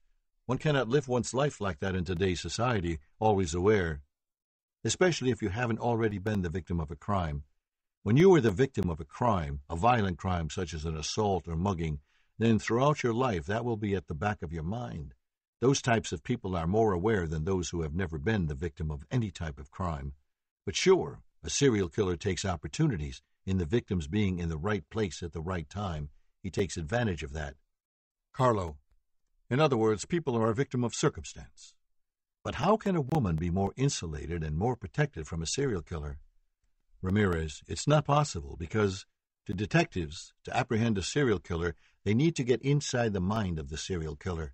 Normal, ordinary people do not think like a serial killer. They have no conception of what is going on in a killer's mind, how he operates. They don't read, which is rightfully so. If they have a life to live, they're not going to spend a lot of time reading up on killers if that's not in their interest. Certainly, serial killers and killers have the advantage in that they use the element of surprise, uh, darkness, and such things as this. Carlo. I see one of the conventional ways police manage to apprehend people who kill one another is usually the victim is known by their killer. But in serial murders, the victim is not known by their killer, and therefore the conventional aspects that help homicide detectives tape shuts off. Do you think one of the reasons why serial killers are so successful in their crimes and are able to go on for years and years is because the police are not equipped to deal with this new phenomenon of serial murder? In that they don't have systems set up to help identify, categorize, and apprehend? Ramirez. Once they have a suspect, because of the progress that has been made in forensics and all the new other evidence gathering techniques, once they have a suspect, there is a good chance they will catch the serial killer because we all leave particles of ourselves wherever we are. So, yes, it is difficult for the police. They are at a disadvantage because these are stranger to stranger crimes, and it will always be so. I don't think that can change. Carlo, you mentioned that people always leave a bit of themselves behind, and with today's technology, it makes it somewhat easier for them to identify serial killers. In an instance where a naked body is left out in a field and uh, there are no clues left behind, it becomes virtually impossible, doesn't it? Ramirez, yes. Carlo, right. Can you suggest, Richard, to women out there? Ramirez, okay, there is no set rule, there is no proof positive that once you come into contact with a serial killer that you will survive the encounter. There is no assurance of any of that because every individual is different, and the same goes for every serial killer. Some serial killers will let you live if you talk to them, if you get to them, if they get to know you. Some serial killers will take pity while others won't. This not only applies to serial killers, but killers in general. Some killers are hell bent on just killing regardless of circumstances or situation. They have made up their minds even before they encounter you, and uh, there is no way out of it. The victim is at a disadvantage because she or he does not know the mind of the killer or what he is thinking. Carlo, you once told me that. Tape shuts off. About what they call the devil's dandruff, cocaine, which is really prevalent in society today. What are your thoughts on cocaine, Richard? Ramirez. I love it. Laughs. No, well, if you look at it in broad views, it's a supply and demand type of thing. I saw a show not too long ago where the CIA, I believe, actually had been working with this stuff to get arms to the Contras and stuff like that. That's on a big scale. But on a street level, I think cocaine is addictive, and I think it's very harmful to the body. Carlo. What about to the mind? Ramirez. To the mind, sure. It depends on how you ingest it. If you mainline it, I've heard and read that it can cause brain clots that lead to strokes. Sure, it's harmful, but the sense of pleasure it gives is very profound. Carlo. What would you compare that sense of pleasure to, Richard? Ramirez. There's nothing, to me anyway, that comes near it. Carlo. You once described it to me as an intense euphoric heat, a rush, a light tingling that goes to the brain. Ramirez. Exactly. Carlo. Your feelings about capital punishment in this country are very profound. Ramirez. You better take away that CIA shit. Tape shuts off. Carlo. Your feelings, your opinions about the death penalty in this country are profound. Would you tell me your feelings about the death sentence? Ramirez. As far as the death penalty is concerned, I think it is a power against the powerless. There are not many millionaires on death row. A lot of people choose to die, though. A lot of people, a lot of murder defendants actually get on the witness stand and tell the jury that they want the death penalty. They would rather die than spend the rest of their lives in prison. The death penalty is, to me, is not a very dignified way. They should have gladiator arenas like in the old Roman times, because what I. It's just, you know, it doesn't seem right. Carlo, do you think that the government does not have the right to take a life? Or do you feel that in certain crimes. Ramirez, well, they're doing it for the victims. If the relatives of the victims want the killer's blood, uh, I think one of the relatives should pull the plug, the switch. But they leave it up to the state, and uh, that is something to look at. I've given it a lot of thought, and I've written some things down, but I don't have. Carlo, how do you feel about it only being in 13 states, as opposed to it being in every state across the board? Ramirez, right. Well, the way crime is going nowadays, it'll probably end up being in a lot of states in the future. People in different parts of the country feel differently about it, and it's ultimately up to the people in every state. They vote for it, and some states vote yes, and some vote no. They don't want it. Carlo, Richard, do you think the death penalty is a deterrent? Ramirez, no, no. Most criminals, the majority of criminals, kill for money, to get money for drugs. Some are not in their right minds, some are drunk.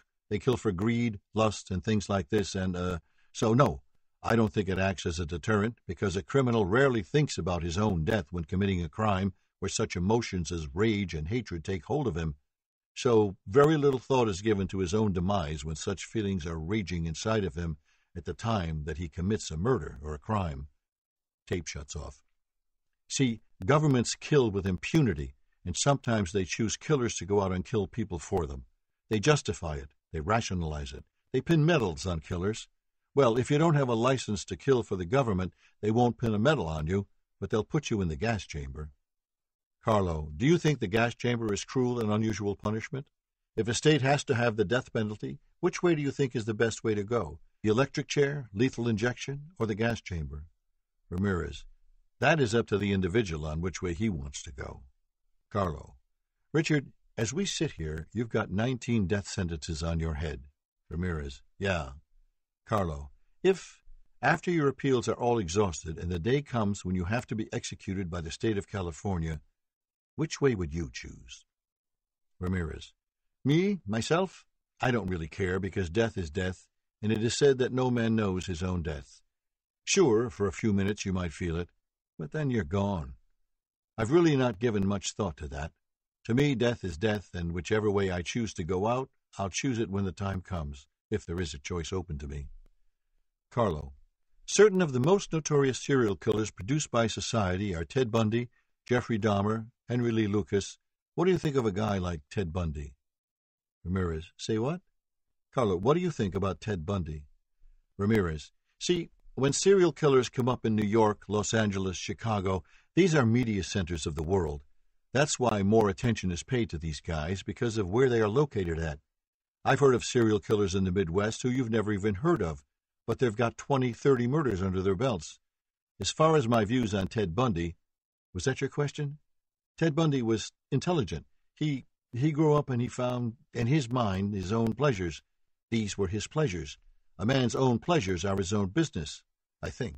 He he liked to do what he did, which was kidnap women, have sex with them, torture them, and kill them, and whatever else. On the outside, to whomever he met on the street, he seemed like a very normal man, one you would never suspect of doing such things. Carlo. It seems that many serial killers on the outside seem very innocuous, like the guy next door. For instance, Jeffrey Dahmer. Of all the things he looks like, he does not look like a killer.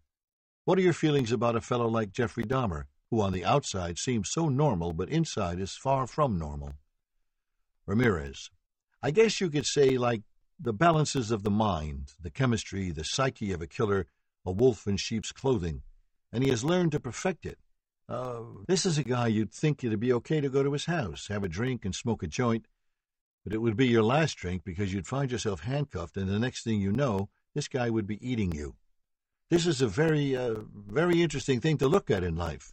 These types of individuals, because they're extraordinary, it's sort of like a strange car, a strange house. You ask yourself, how was it built? How did it get here? I've always been fascinated with killers and crime and murder and death.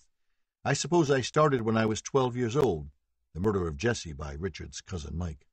I started reading crime detective magazines and stuff like this, and even the pages had a certain scent to them, a certain smell to them. It was very strange. It gave me a strange feeling. Carlo, can you explain the feeling? Ramirez, strange, because I had experienced the death of people I knew at an early age. I was four or five years old when I knew about a death of a friend of my father's. Then, when I was nine, I went to my grandfather's funeral. It's just Death had a very profound effect on me when I saw it. Death of my dog, death of a pet animal, just death. Carlo, do you feel that there's a life after death? That there really is a heaven and hell? Ramirez, I couldn't say for sure what there is, you know. I can't sit here and tell you, yes, there's this or that, because I'm not sure. I can only speculate. Carlo, well, what do you speculate? Ramirez, I think there is a divine force that is out there I also believe there's a malevolent force that is out there. Then again, they could be one and the same. I also believe some in reincarnation. I mean, how do these child prodigies come about? A young child being able to play the piano very well at the age of three years old. Everything is open. I have an open mind. Carlo, do you feel that evil can be reincarnated? Ramirez, I hope so. Carlo, like a killer, like Jack Ripper, could come back in the form of Ted Bundy or Jeffrey Dahmer? Ramirez. Yes, especially if Satan grants that wish to the individual. If Lucifer gives his unworthy servant that opportunity, that chance, Satan would be saying to me right now, Yes, you are unworthy.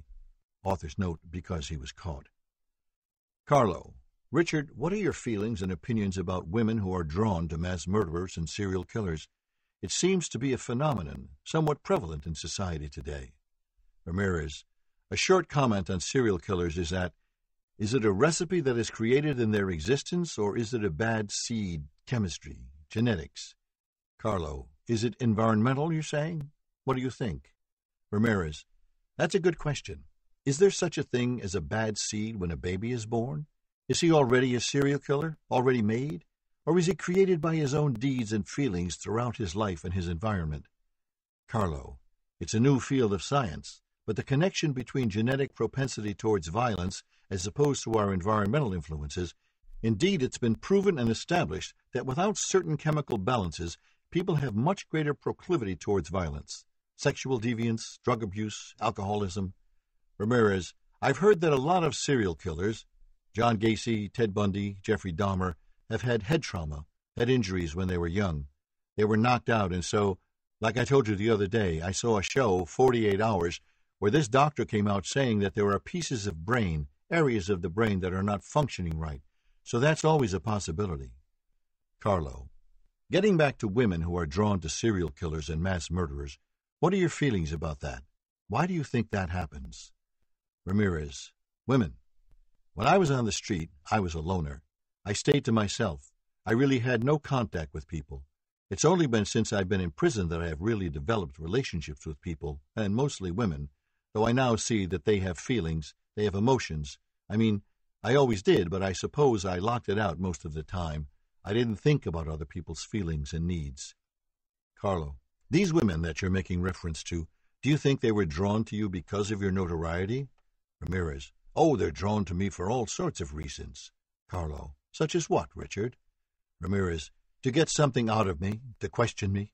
Maybe they're intrigued by murder or murderers. Some are religious, some are sympathetic, you know. They have sympathy for me. Some come just so they can tell their friends they came and talked to me. They've come to me from different walks of life, these women. Carlo, since your incarceration, which has been eight years now, how many women would you say have come to visit you? Ramirez, nine years come this August. What was your question? Carlo, how many women have come to visit you since you've been arrested? Ramirez, it doesn't matter. Carlo, six hundred? Ramirez, it doesn't matter. Carlo, it doesn't matter.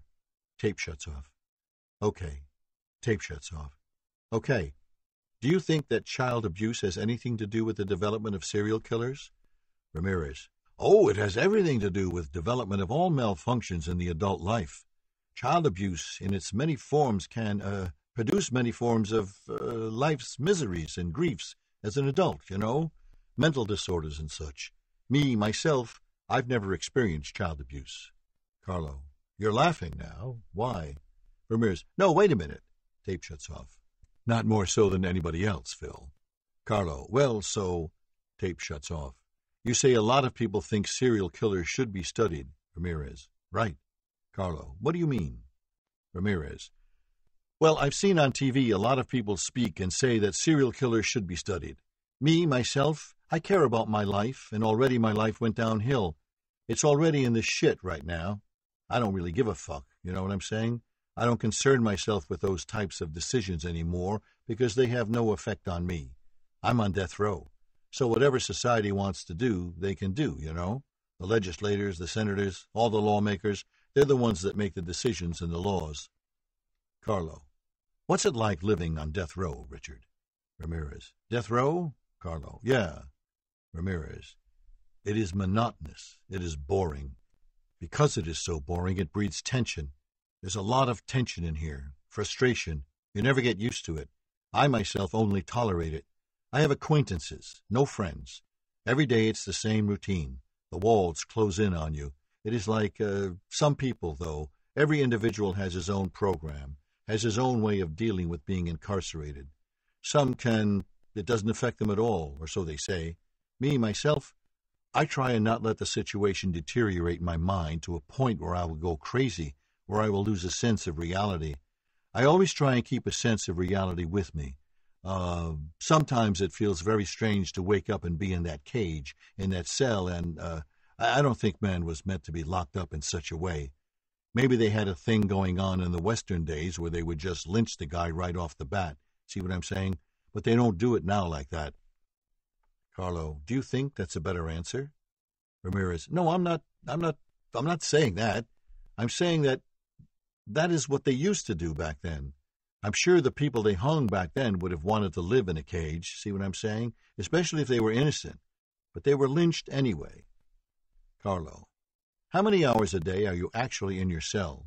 Ramirez. Well, like I told you, the program they have me on now, which is maximum security, I got out 16 hours a week. So, Carlo, are you locked up 24 hours a day?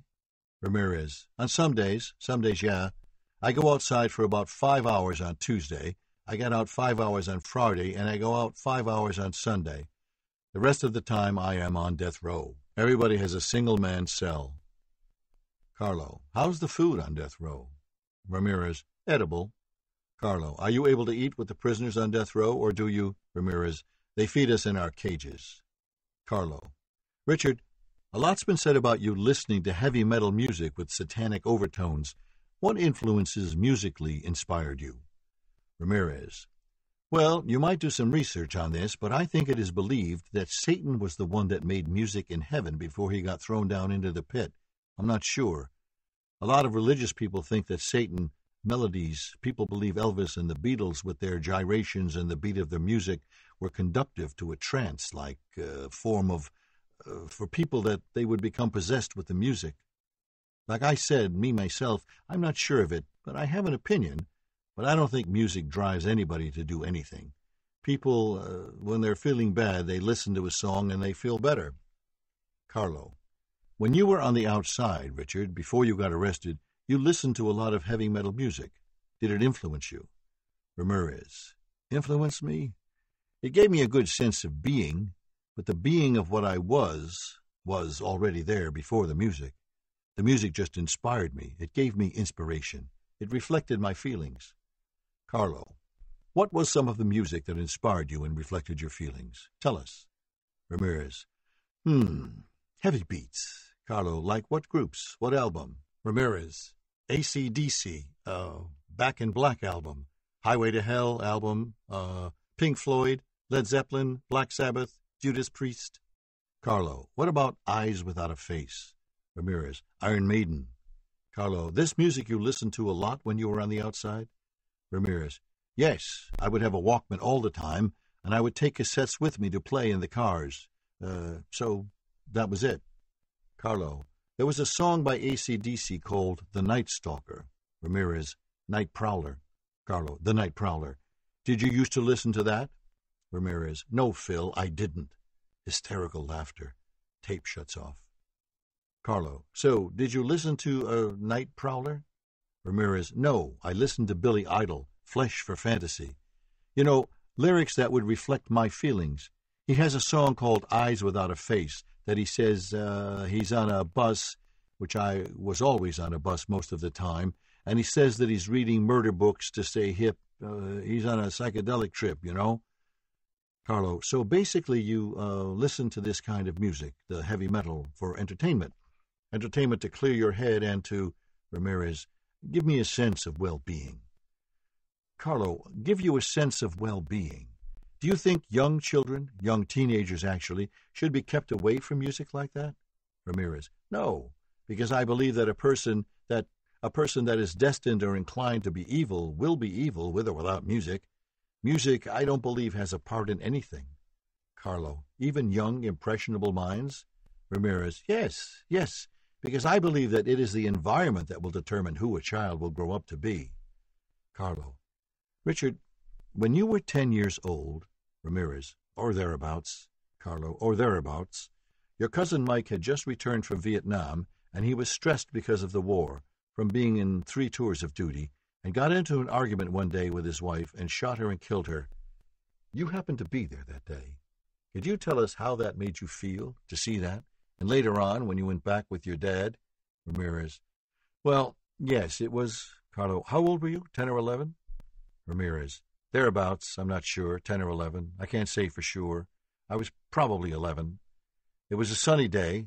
I had been with Mike that day, hanging out, and uh, he got to his house about 3 p.m. I was with him.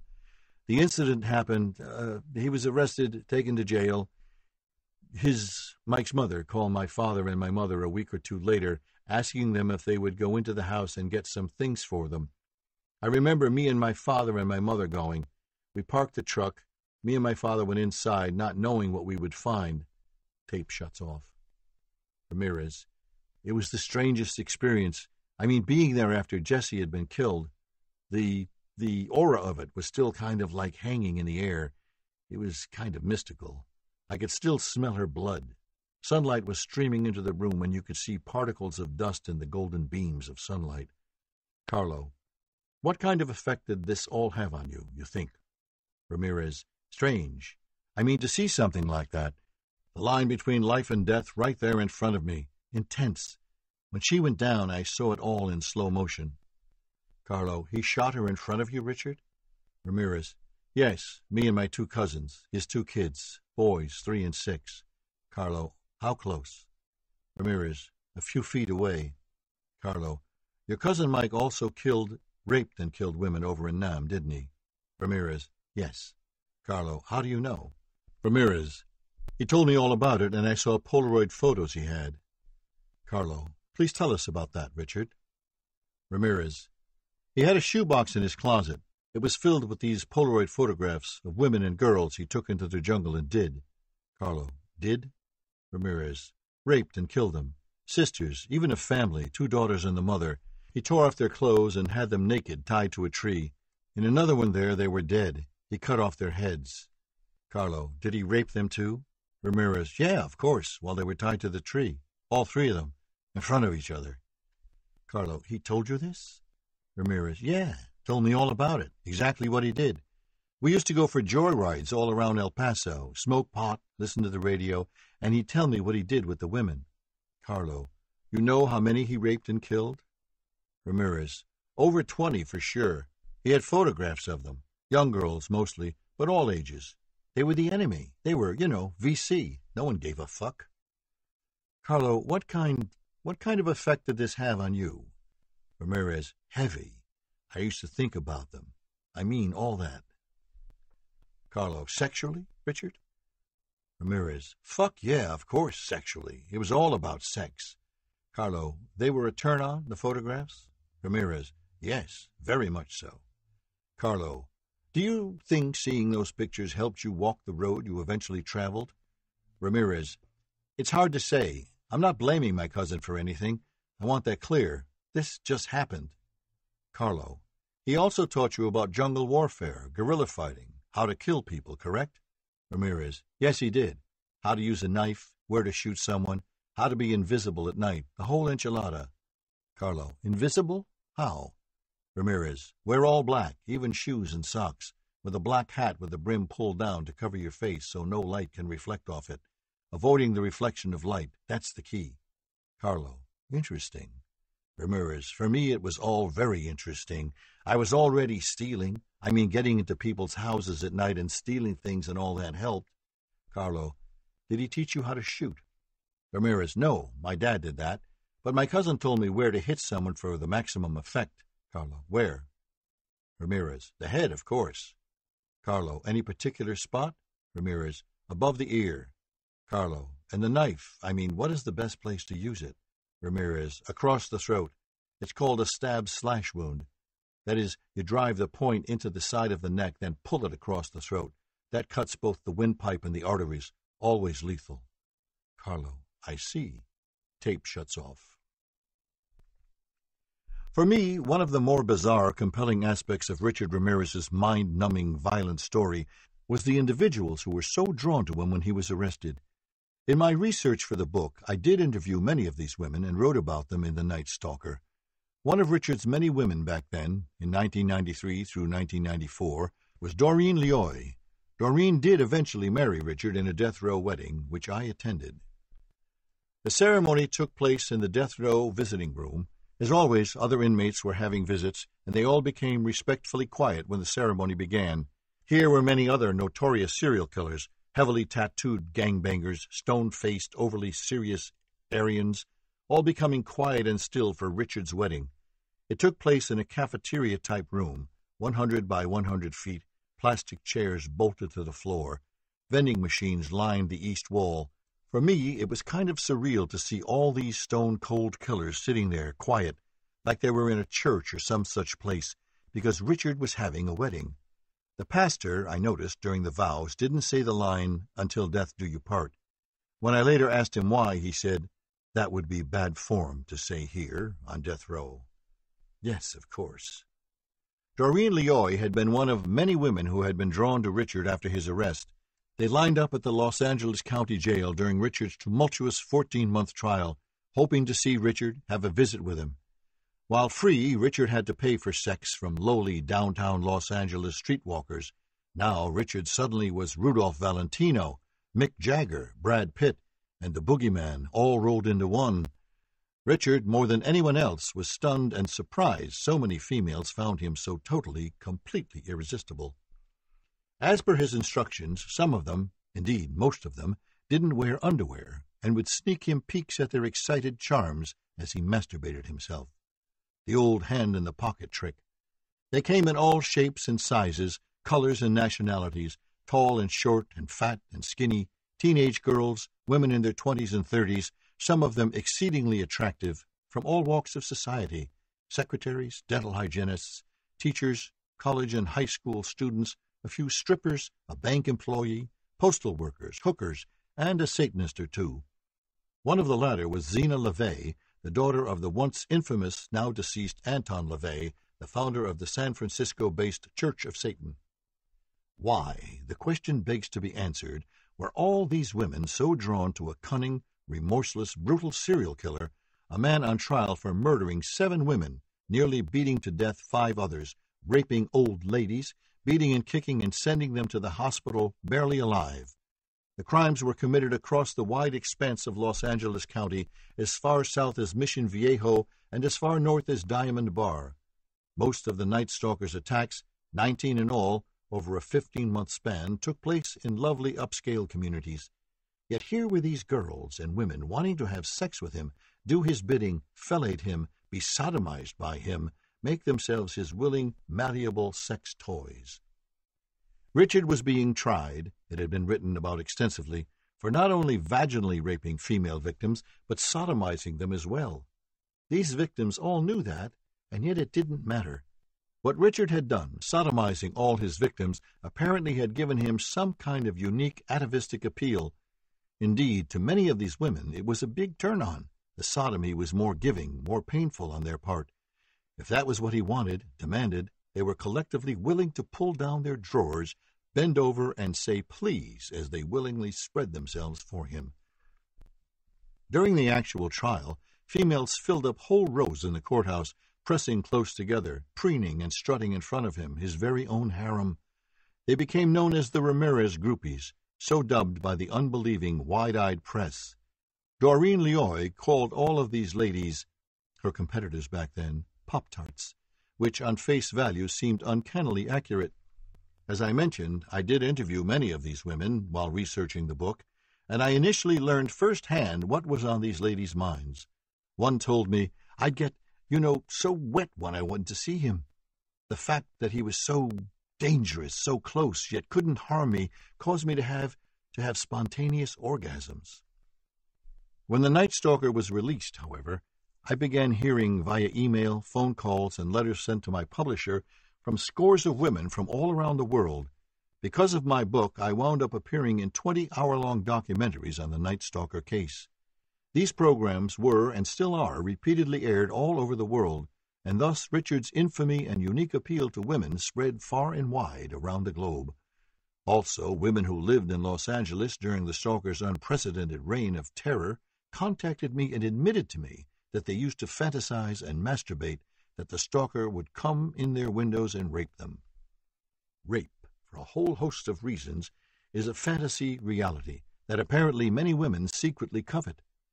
Perhaps it is because all guilt is removed in forced sex. Perhaps it is because of strange childhood traumas associated with sex. Perhaps it is some kind of built in mechanism that some women use to protect themselves from ever becoming a victim. One cannot be the victim of a sex attack if, in fact, the attack is craved in some strange, unexplainable way. To some degree, in any society filled with stringent rules and regulations about sex, the repression of spontaneous, natural sexual desires and inclinations, rape can become a source of erotic stimuli, not a criminal act, as indeed it is. I'm sure that many of these women didn't actually want to be raped by Ramirez. It was only a fantasy, a hidden sexual dynamic that played out in the secret recesses of their confused minds, whether they wanted it to or not. I received emails from Russia, England, Israel, Malta, Norway, Denmark, Finland, Italy, Germany, Japan, Paris, Holland, and from all over the United States, especially Los Angeles. Here were women begging for his address, asking how to visit him, wanting to know what he was really like. Even I, who had already interviewed many of these women, was taken aback and somewhat aghast by how many females found Richard so utterly irresistible. Truthfully, at first they were a bit annoying. Here are a few queries, verbatim. Oh, my God, is he still alive? Please tell me he is. The devil is responsible, not Richard. Can you please, please tell me how to write Mr. Ramirez? Thank you for scaring the pants off me. I can't sleep with the windows open anymore. Can you please, please tell me how to contact Richard? Hi, I'm a psych student doing a paper on the Night Stalker. Can you tell me how to reach Richard? I received over 100 of these. I'm a filmmaker. I want to do a film on Richard, all these groupies of his. Please, sir, can you tell me how to visit him? After a while, I realized there was a little known, little understood phenomenon going on, and I determined to study it and find out what the hell was happening here. I began interviewing many of these females. Here is some of what I found out, a mere slice of this bizarre element in the mind numbing, violent complexity of the Night Stalker case. Julie. Julie is 21 years old, two years out of high school. She has thick black hair, large, dark, walnut-sized eyes. She lives in Paris, France. She is so taken by Richard she changed her last name to Ramirez. She never has been in trouble with the law and is not overtly promiscuous. She is madly in love with Richard, however, and often fantasizes about having rough sex with him in a car. Julie was brought up by her grandmother. Her mother was a prostitute. As a child, Julie saw her mother turn tricks. As a child, Julie watched porn movies that her mother left around the house. This occurred before Julie went to live with her grandmama. When twelve, Julie was taken for a ride in a car by an older man who orally raped her. He nearly made her choke when he orgasmed, forcing semen to come out of her nostrils. This is what Julie told me. I first heard about Richard on TV. I right away loved him so. He is so beautiful. I bought your book and read about him and loved him even more. I began to write him. He wrote me back. He is so nice, so sweet. My fantasy about Richard is to make the love to him in a car, like he did with the prostitutes in your book. I want him to, you know, fuck me in the ass. He likes that, I know. I want to please him. For me, this is more powerful, more intimate than in the pussy. I love Richard so much, I would do anything for him. Anything. Carol. Carol actually lived in Monterey Park while the Night Stalker crimes were taking place. There were five stalker attacks in Monterey Park. She was a single child in a loveless marriage of convenience.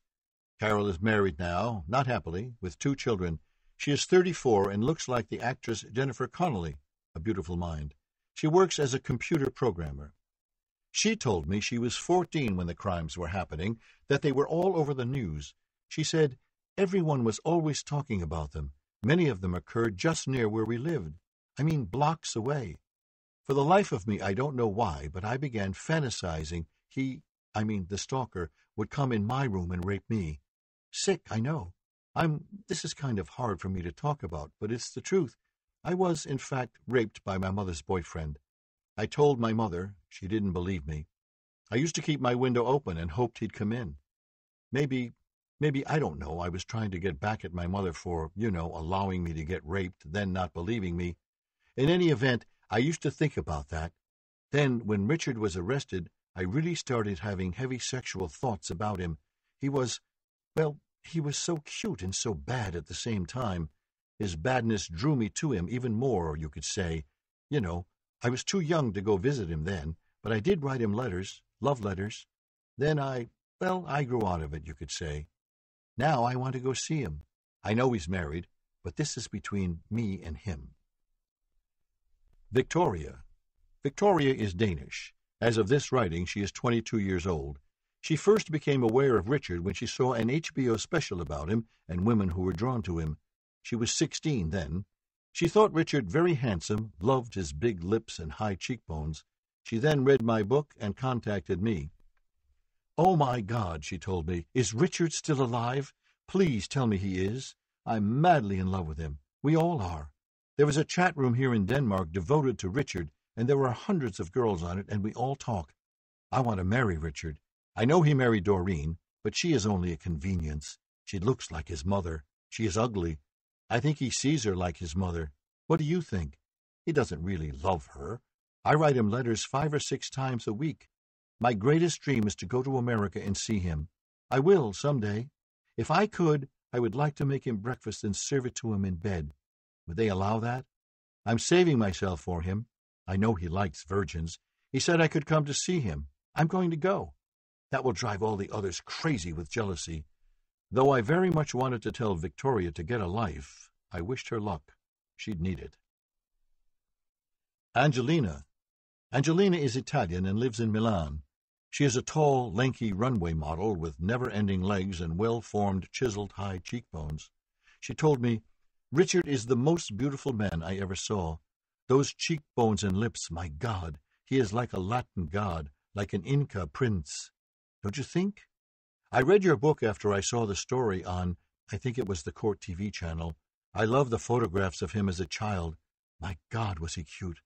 I would love to make love to him. When I am with boyfriends, I close my eyes and make believe it is him, Richard, inside me. I write him and send him photos of myself, naked. He loves them. It excites me so very much that he looks at them and masturbates. I sometimes send him a little money. Not so much, but he likes that. I send him books and magazines, too, naked women magazines. He told me he likes Asian women, so I sent him some of those. I want to go see him, but he tells me not to come because of Doreen. A man like him should not be married. No one woman could ever satisfy him. I'm waiting for permission from him to go see him. To hell with Doreen, you know? Monique. Monique first contacted me when she was seventeen. She lives in Hyde Park, England. She was very troubled and seeking explanations and assurances she wasn't insane, none of which I could give her. She is Chinese, polite, and quite attractive, with long, silky black hair, a heart-shaped face, big kissy lips. I think, she said, I need a psychiatrist. What do you think? I know everything Richard did. I've read your book many times over. I know whole pages by heart. It is the best book I ever read. I know he is very dangerous, like a wild animal, that he enjoyed raping and beating Asian women, yet I am so drawn to him, like a moth to a flame. It's like a sick obsession. I want him to tie me up and rape me. Sometimes I tie myself to my bed and fantasize he did it. I use different objects, all so big they hurt, like he would, and I have intercourse with myself, thinking it's him. I close my eyes, and it is so real, so bloody real, I can smell him. He smells just like you wrote, wet leather with an animal-like odor. He is like an animal, a wild, dangerous animal. That's what I like, his danger. Well, I can't honestly say I like it. I'm just uncontrollably drawn to it. To him, if my parents found out about any of this, they'd disown me, I know. I once told my sister I thought he was cute. She told me I'm sick. Do you think I am? I sometimes think I am. It all, it's like some kind of fever inside me. I can't get rid of it. I want to. I can't. Please, can you tell me if it's okay if I write him, or is it sick? I'm not one of his groupies at all. I'm, I just have this fever. If my parents knew, they'd lock me up. Do you think I should be locked up? Sometimes I think I should. Should I write him? That's sick, don't you think? Do as your heart tells you, I told her. Definitely see a shrink, I thought. Luda. Luda lives in Moscow. She has a very white, cream-like skin, wears much makeup, is a bit overweight, but she's attractive in a dark, sultry way. She is a professional dominatrix. She abuses men for money. She likes her work a lot. She always wears erotic leather outfits that reveal her breasts and genitals. She has a golden ring through her clitoris. I have seen photographs of her naked. Like thousands of women, she has sent Richard nude photographs of herself. A while back, Richard wrote me and told me he had so many photographs of naked women he couldn't fit them all in his cell. He asked me if I'd hold a few for him. I said yes. He sent me a thick, big manila envelope brimming with photographs of women and girls. Many of them were naked, quite a few beaver shots. Luda's photo was among them. Since the recent conviction of Scott Peterson and the women who wrote to him subsequently, the media has newfound interest in this little-known bizarre phenomenon, women drawn to killers, the infamous. Compared to Richard Ramirez, however, Peterson is like an innocent, wide-eyed altar boy lost in the woods. According to Vernell Crittendon, the public relations liaison at San Quentin, no ten inmates put together ever got more mail from females than Richard. He gets hundreds, boxes filled with mail every week, he recently explained. It is my dream to have sex with Richard, Luda told me in heavily accented English. He is gorgeous. He is the ultimate man. I would love for him to dominate me. I want to be his slave, his sex slave. I swear I'd do anything for him. Anything. I mean it. I don't care for normal sex at all. It's boring. All these men come to me and pay me all this money to abuse them. They are a joke. Men are a joke. But Richard, he is my God. Tamara. Tamara is built like Jessica Rabbit. She lives in Sherman Oaks, Los Angeles. She is an avowed vampire. She sleeps in a coffin, has had her canines filed into points, is erotically aroused by the sight and taste and smell of blood. She works as a secretary for the city of Los Angeles. She covers her canines with caps. Tamara is in her mid-thirties today. When I first spoke to her, she was twenty-four. She has an altar in her bedroom devoted to Richard. It contains many photos of him, statues, burning candles, different crystals, quartz and amethyst. One of the quartz crystals is in a penis shape. Tamara uses it to masturbate. She explained, My greatest fantasy is to have sex with Richard in a cemetery at night, on a black tombstone with only the light of the moon. I want him to fuck me with blood on his penis. I mean, I want our sex to be lubricated with the blood of one of his victims, and you know what? I'm not ashamed of that at all. I know you think I'm nuts, but I'm not. I'm just honest. That's what I love about Richard. He never judges me, doesn't think I'm out of touch at all. He is one of the few people, perhaps the only person who understands me, who can understand people like me. There are a lot more people, women, who would love to do what I just said. Wild, crazy things. I know a woman who wants to be murdered by Richard as he fucks her. For her, that would be nirvana, the ultimate. Who, tell me who has the right to judge anyone about what they like sexually? No government, no church, nobody has the right to police your passions. If it was wrong, against God or nature, I wouldn't feel it. I wouldn't think this way. Just the fact that I have these desires and needs makes them right. I mean, I don't want to force myself on anyone, force anyone to do something they don't want, involve children in any way. Consenting adults should be able to do whatever they please. Period. End of story. The church, isn't that a joke? Them telling people what is right or wrong when it is filled with child rapists. Hypocrisy. Talk about hypocrisy.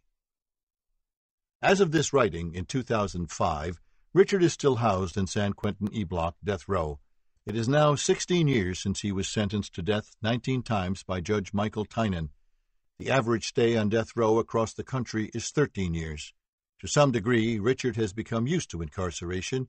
He has books, a TV, and a radio in his 6 by 8 cell. He gets hundreds of pieces of mail a week from all around the world, mostly from females. He has a lot of correspondence to keep him busy. There has been much talk across the country about abolishing the death sentence, which very well could come to pass. If that does happen, Richard would be spared the lethal injection San Quentin now uses on the condemned. As of this writing, there are 667 men waiting to die at San Quentin's death row. Richard is one of the most infamous of all the condemned, a kind of homicide superstar, the Mick Jagger of murder. Richard's attorneys are planning to appeal his conviction, his appeals attorney, Jerry Russell, says there are numerous legal points she plans to perfect and argue, foremost of which is incompetent counsel. When recently asked when she will have the appeal ready to be argued, she said, Well, truth is, it is a voluminous record, and I won't have the appeal ready for quite some time. The truth is, she told me off the record, there is no hurry to argue Richard's appeal, for the longer she takes, the longer Richard will live. He might very well live to a ripe old age and die in prison of natural causes. Then again, San Quentin's death row is a very dangerous place, and there is no telling when sudden violence can occur, and Richard could end up dead. Meanwhile, Richard Ramirez, aka the Night Stalker, reads his fan mail, enjoys all the photographs of naked women sent to him, and dreams about being free so he can do all the grisly, ghastly things he did to get put on death row in the first place. Philip Carlo, Montauk, New York. This concludes The Night Stalker by Philip Carlo, narrated by Tom Zingarelli. Copyright 1996 by Philip Carlo. This unabridged audiobook is published by arrangement with Kensington Publishing Corporation and was produced in the year 2016 by Tantor Media, Incorporated, a division of Recorded Books, which holds the copyright thereto.